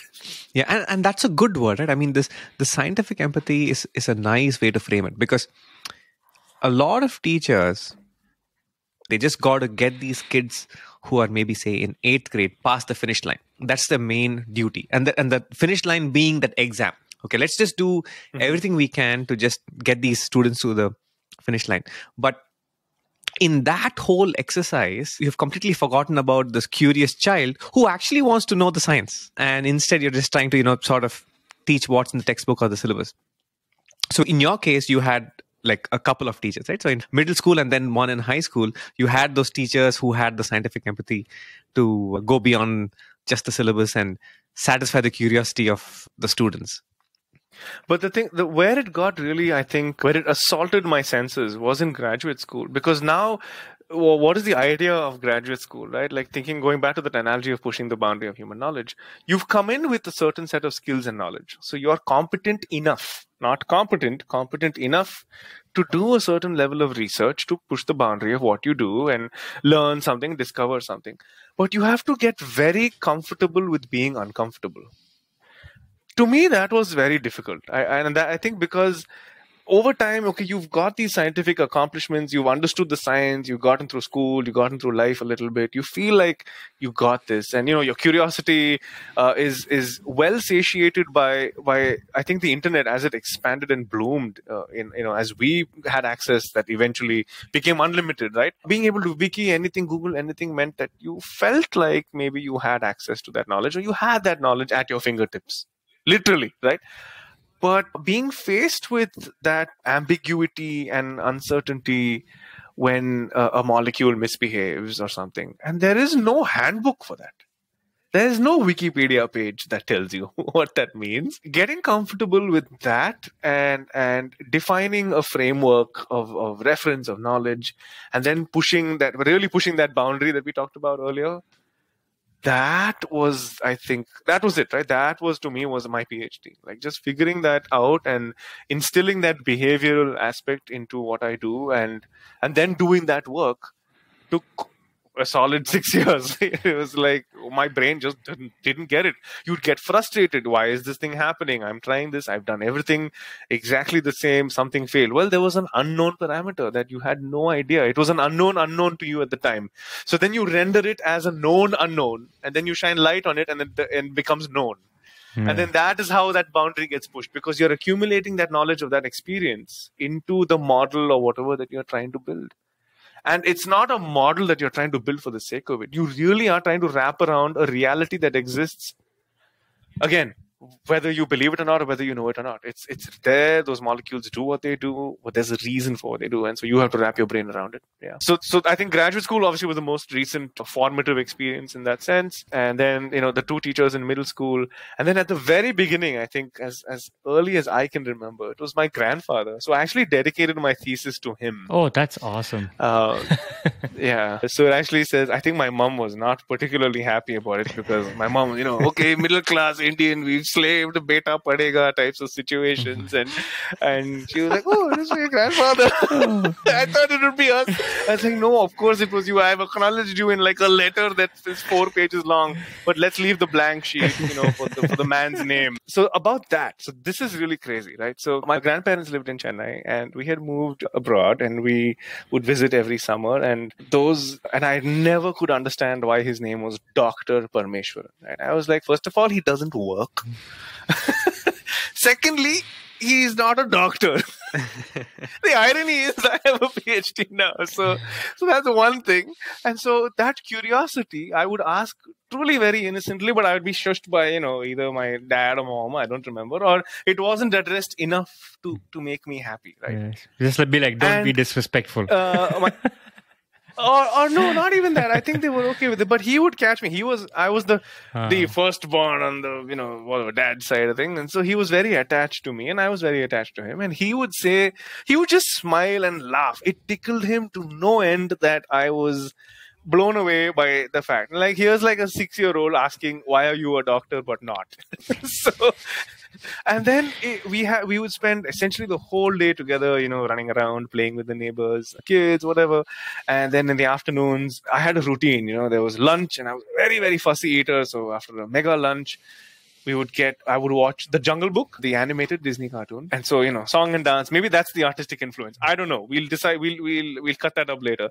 And then he had a collection of hardbound books that either my dad had you know brought and and saved over time and they were on like sci-fi. So sci-fi from the context of 1989 1990 so this is completely outdated sci-fi by today's standards okay?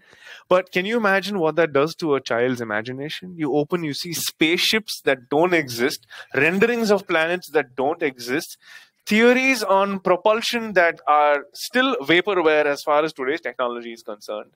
So at that age of like, I don't know, maybe six, seven, eight, nine, I was exposed to the concept of solar propulsion, mm. the Daedalus project.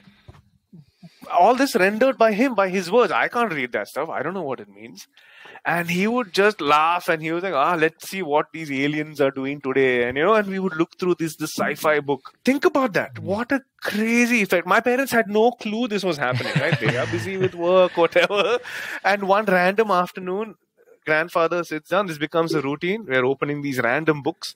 Uh, and I was not allowed to touch these books, right? They were on a shelf somewhere. So maybe the engineering mindset came from Yeah. there. When everyone kind of goes to sleep and the cartoon is finished, I would sneak into his room and quietly try and pull that wooden uh, chair to climb it, to climb the table to reach the shelf to pull the book. Many scoldings later, the book is in my lap. Achievement unlocked. So I think that was it for me. And and oh, I remember this one thing. So he, by he, as if I know this guy. Richard Richard Feynman talks about opening up a radio, right? Oh, And yeah, yeah. First chapter. Right. I did that to a to a torch. Okay, it was a I don't know. You remember in. India we used to get those the, those flashlights that were orange plastic with the black switch and a black rim. Okay, signature. Like this is just like your run of the mill 80s flashlight. It ran those big Eveready batteries. And one day I don't know. I was inspired. Let's call it that. Okay. I take apart the whole thing. I figure out basic electric circuitry Yeah. on vacation during power cuts when you need the torch, when you need the flashlight. So, and I think probably where I think this, I was validated, I think for the first time that I remember why my parents were having the scientific curiosity was I. I had I figured out which screwdriver to use to open up one of the two screws and whatever and take it up the whole take up the whole thing. And remember there was a spring that would also hold the batteries in place and I knew how to take out the spring. Right, Those small fingers, very dexterous. So I think you know, Vicky, you'll relate to you know your kids having that ability with that with those fingers. It's really an advantage being that small. I think. Yeah, I think so. And and I I told them, no, no, no, trust me. I will put it back together and it will work on the first try. You know, raising the stakes. Challenge Let's accepted. Go all in. Yeah. right? A challenge accepted. Whatever they let me be, they were probably like, "Oh, we have other fish to fry. Let's just let this kid do his, do his thing." Lo and behold, it worked. Put the whole thing back. You know what feels like a trivial thing. Like uh, now, I mean, can you imagine not knowing anything about positive, negative electricity, making sure the polarity is correct, Yeah. making sure the connection with the bulb is correct, figuring out where on the screw type the is the negative and the Yeah. positive on the bottom empirically tested no idea right i have no fundamental concept of electricity as we know it today so that was i think and then and then being validated by the parents to say "Oh, okay good job whatever you know like Yeah. yeah. there's going to be a power cut so we need it Yeah. done that's it Yeah. The next time the power the power went out, you're like, yes, this light is on because of me and my science. because of the soon to be you know dr sidharth mohan so like 30 years later That's nice. yeah So is Jungle Book where you got all your grooves from, your rhythm bones? Because rhythm bones huh why I have to say Yeah. rhythm bones to people who don't know you already is because you're a damn fine drummer, as is Subu. So I'm feeling all left out in this conversation because there is a distinct drummer who once told me, like, dude, you play all this guitar, but you really lack a sense of rhythm. I'm like, you are right. You are absolutely right. No offense taken. Agree. the thing is when Sidmo, when I first met Sidmo, right in the in, in the in our college Indian band, he wasn't even the drummer. He was hired to play the keyboards. Yeah and the bass Yeah, He's a man of many It's, uh, faces. yeah. Oh no no I was I was belligerent I think with the whole band thing because I had to follow in the wake of the the great Black Earth and for first time listeners here you know Vicky and Subu are uh, powerhouse musicians who achieved uh, a lot. So it's it's only unfortunate that you guys are not uh, still a part of a touring band I would say. And I say that I am a, a scientist because I'm a failed musician. So I'm the other way around you know? But yeah I think the idea of grooves um, more so the Jungle Book was my dad. So my we had and we still have to this day the original vinyl records from you know like I think going back to the 70s of, of whether it was ACDC or Pink Floyd or Dire Straits. And for example, like my dad, I, I don't know whether he was, he is into music and, but he never, never really got into metal. It was, Hmm. he was a little more eclectic in his tastes.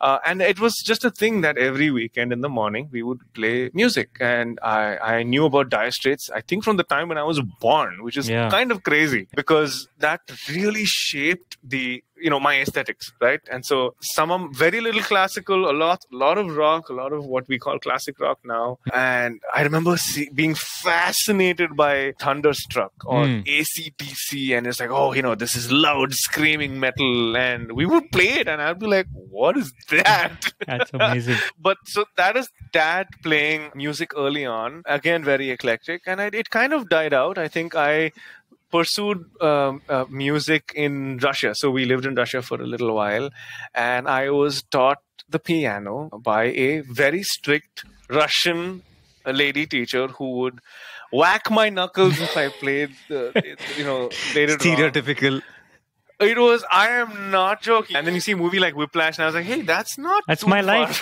That's my life." exactly. How old were you? I think I was close to maybe eight, nine. Yeah, not that young eight nine. So and it was traumatic because she insisted on keeping like the door closed. So it was just you know the the, the sort of overall strong pedag- russian pedagogical i don't know influence whether if that if that was it or not. And it was traumatizing. I think i i began to hate playing the keyboard. It was it was really something I didn't want to do. I would I had a year for music in the sense that I could, you know, listen to tunes and replicate it and I would do that for the longest time. So 10, 15 years go by. I'm in high school and, you know, yeah, okay, I'll get back to it. The classes here and there, very broken. And then college happens, and then there's this expansion and this explosion of freedom to, you know, do what you want in some sense. And I see this drum kit, and then that's where a lot of the magic for for for Black Earth also happened, yeah. right? Yeah. Uh, and I remember Subu was like, and I we still I still call him my drummer brother from another mother, right? but like I was v- very much in an exploratory uh, mindset, mind space, right? Yeah. And I remember sitting behind it, just being fascinated by it before I could even play a four by four. It took me months to get a four by. I just could not believe how awkward the basic, you know, four four timing is, where your dominant hand does one two three four, your bass drum, your kick goes on one, your snare goes on three, and it should feel like a beat instead of just you're just clunky on it, you know? Yeah. And you know, that's the beauty of just putting a, a bunch of kids who don't know drumming and keep, you know just putting a drum. We didn't have any teachers right? And we would just listen to the same kind of music metallica. And yes. uh, we would just show up the next day to college and one of us would play and then we would say you know i think this is how it goes. I think i figured it out. Right? So there's no teacher no one to uh, and there's no real internet in the way i mean there was no real there was, there was no youtube so no video. So it's pretty much you had a toy and we just figured it out ourselves. And that was our uh, pastime essentially more, so you than me. I think I was I was lagging in that sense, but I think Subu uh, was formative in that sense. I think you were because not only did you teach me a few beats here and there, but first of all, the positive energy. If you know people ever meet uh, uh, Subu in real life, they'll know what I'm talking about, right? The positive energy is one thing. The the lack of barriers was another. The and then you you started gifting me stuff. I mean, you you had that extra pair of the Lars Ulrich signature sticks, which I was like, what? Okay. And and then you had that that double pedal kick, double pedal, which I right. still have, by the way. It's in the cupboard right there. Yep. Can you imagine how old is that? It must be at least that, 25 years old now. Easily, because I got it. It was a hand me down from another accomplished drummer. Her name was Durga and I don't, I, yeah. I really don't know what she's doing right now, but yeah, it was a hand me down from other a drummer and then it came to you. I think you put the iron cobra beaters on it and you sold it to me for a nominal price. Yeah. Which by the way i had to like crowd crowd fund it at that point. But we we made all the money back because we started winning competitions. So I, I landed up paying all the memos awesome. back for that. It was crazy. Yeah. so i was just saying that that that the ultimate validation i think in terms of drumming skills and i think the high point for me just before you guys left was you were late for practice or something. And we just had you guys were you know doing dream theater's uh, Ytse jam at the time mm-hmm. and i remember distinctly the one part where you decided to chop one one one part of the bar because okay. i think the band could just could not coordinate it and i remember it was a group call you guys made and decided to cut it and it irritated me to no end that you guys did that so i made sure to, to play through it with you when you were late but it was like, yeah, yeah well, this guy, yeah, replacement drummer. Replacement you know, drummer. like you're, yeah. almost, almost took my job. you snooze, you lose. Yeah. Oh my god. that was So wait a minute. I want to I want to go back to you casually just mentioned Russia. So uh, what's the story there? How did you end up growing up there? Were you born there? I mean, if you No, if no, you no, were no. 8, that was probably just a freshly broken up Soviet Union at that point. Yeah, so this is crazy. So my parents actually studied in Ukraine, and as life would have it, you know, they worked for companies that then uh, eventually had like offices in in in Russia, and they were in sort of retail and whatnot. So, so I spent five and a half years there, 1989 to about 1995, around around six years. And yeah, we saw the breakup of the USSR. Crazily, we lived on one of the main streets when there was a siege on the White House. And so here, you know, it's like again, maybe six, seven years old. Um, and my father was traveling at the time. So he was working for like an oil corporation. And so he was actually close to the North Pole, like really far away, buried in snow. And then there's the siege happening on the White House, and the tanks roll down our street. Okay. So picture this. So it's like the middle of the night, an earthquake like sort of experience, right? Because the, the tracks really are very, very loud and they there's a lot of vibrations of the tanks on the road. And it's dark, it's dimly lit, and so my mom is obviously panicking, and you know, we were like, What is going on? So, you know, look outside the window, and I see the tanks. And being the age I am, I'm like, Yeah. Oh my god, this is so cool. That- that's like the best thing that could ever happen to you. can you imagine? You see Oh tanks God. rolling around, you're like, wow, no concept of war, politics, nothing.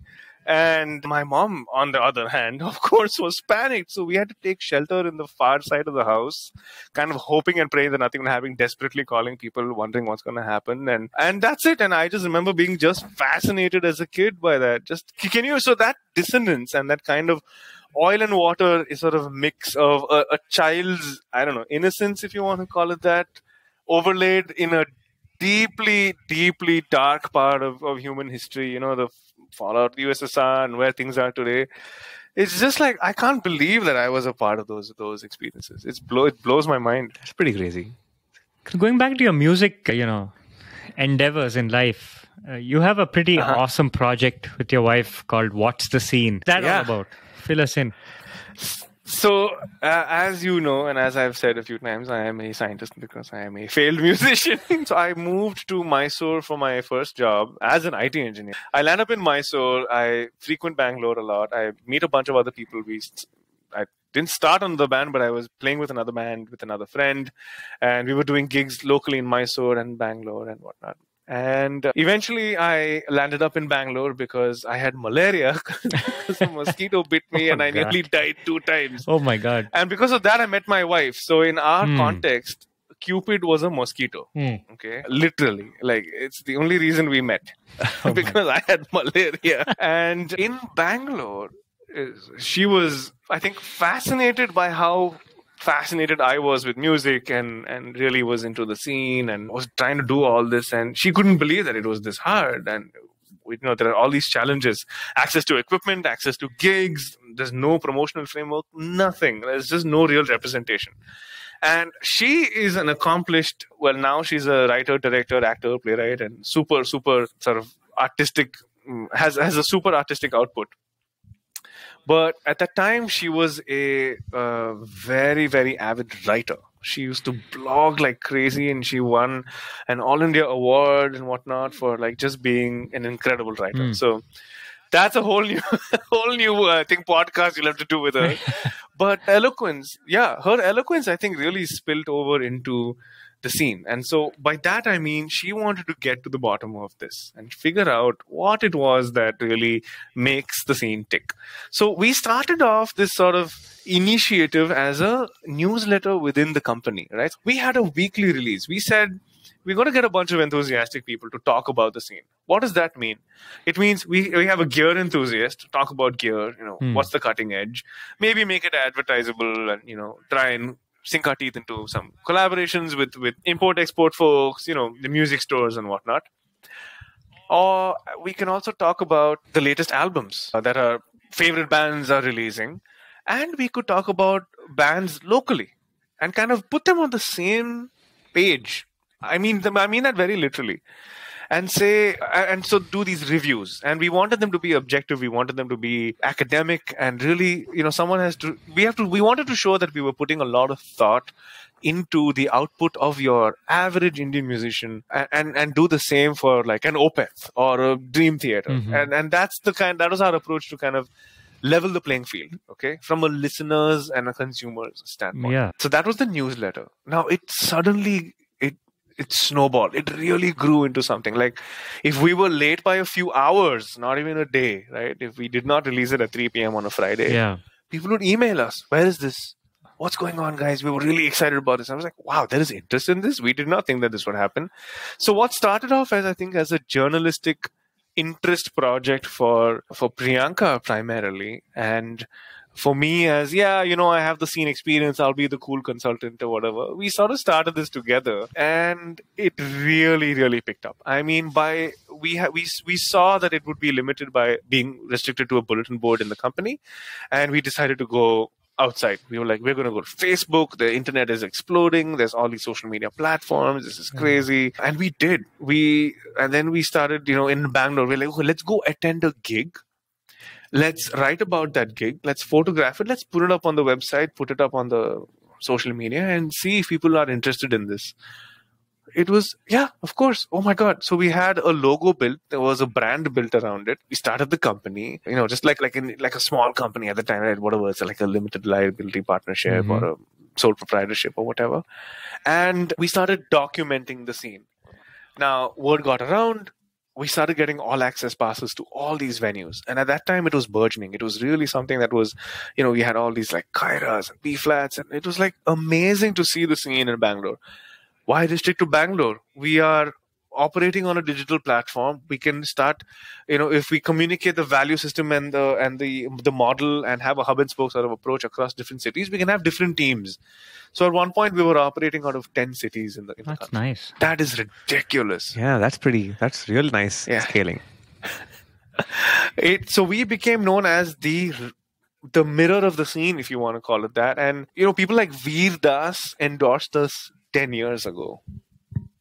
Who is Which is, to me is crazy. He probably doesn't remember us today. Veer Das is a, a, fantastic Indian comedian who is uh, based out of India and has an Indian flavor to his comedy, so to speak, but has made it internationally. He's and I think he was into this kind of music. I hope he still is. Mm. And he had endorsed us way back then, saying, Yeah, What's the Scene is doing legit work. We have photographers and reviewers in all these cities. We have editors who coordinate all of this and, you know, get make sure that the content is delivered on time and delivered to the right place. And you know we have fact checking and error checking and it was polished content that was out there. Yeah. It's amazing. So so is what's the scene still active? It is. So, as life would have it, you know, my wife and I, oh, we were still just only dating and friends and then dating at the time. And so it was a tumultuous ride through life. And you know i moved abroad and it was difficult to kind of do things remotely. And then even she moved here. And so we we kind of went through a bit of a hiatus. And i think it was for good measure because the scene changed on us. I mean literally changed uh, for the worse i would i would think. You know there's all these restrictions that exist right now. The the, the way music is consumed in india has also hmm. changed. Mm. all those venues that had sort of supported the independent music scene, I think, evolved or devolved or closed down. And so we went through, I would say, a bit of an identity, I wouldn't say crisis, but a change. And we kind of revamped the model in the last three, four years. And we went again virtual but we have a much more focused approach where we have aggregated data aggregated reviews you know the, the social media platform focus has changed but we're still essentially trying to do the same thing we're trying to uh, now and not just sort of restricted to reviews and documenting the scene we want to connect and and allow musicians to kind of leverage our platform to to promote and collaborate and do stuff like uh, that, that and do and do things uh, in a way that is representative of a well-oiled uh, framework or structure. The scene has no shape, so to speak. If you ask an average Indian band or band member, what does it take to succeed? You're going to get a variety of answers. Now, while diversity of thought and execution is great, there isn't really any one clear path. Mhm. So we're hoping that by doing what we do, that we can help define that and crystallize that and really tap into the scene. I mean, we are a country of over a billion. There are brilliant musicians Oh, in yeah. our country. And so there's all this talent that just does not get access. No And discovery. So while we're trying, yeah. So the, so we exactly. So we want to be a discovery engine without being an online radio. So Hmm. you see, like it, there's there's semantics and sort of nuances there that I think we're we're continuously figuring out and learning. But what's the scene is just that it is. We want to be the scene. This is the scene. It's our scene. We are the scene. yeah. In fact, all the members, you know, we it, it almost became like a I won't say a cult, but it was a great uh, sense of solidarity when we were the, the the broad older model. It was we are the scene, WTS. We are the scene. What's the scene? So there was a, a great sense of enthusiasm. People did it out of passion. They, uh, we didn't make any money off this. In fact, it sucks money. like Yeah. you know, we we spent a lot of money on making sure the website uh, was was built from scratch. We paid designers. Uh, we just went through a revamp pr- pr- process. But the really nice thing is that we, the support that we've gotten from consumers, other pillars in the industry, and the bands and the musicians themselves. You can't plan for this stuff. I mean, It's this is amazing. right? unbelievable. Yeah. It's the, Yeah. it's the I think, force you know, of what you do when you start a project. We'll do this. I know that the Instagram handle is WTS India for What's the Scene India. And That's for correct. any additional links, it'll be in the show notes. So you should je- definitely check out all the What's the Scene stuff. There's some really good music and stuff on the Indian music scene that is aw- awesome. It's good for the bands, it's good for diversity. So we'll definitely have links to that stuff. Yeah. So, you know, Sidmo, so thanks for joining us on this journey. I mean, educating us about the science that you work on, talking to us about your personal life. And it was obviously always fun digging into our past and making a record of it. I think that's like, that's one of the main reasons why we even started this podcast. In a, in a way, it was for a selfish reason of making a record of all the fun that we've had in our, in our past. Right. And I think that's uh, exactly what we did today. So thanks for that. And I hope listeners are also going to enjoy this episode. We'll have links to all of the stuff that we spoke about in the part one of the science section and also all the Indian music that we spoke about. And that's it for this episode. Thank you.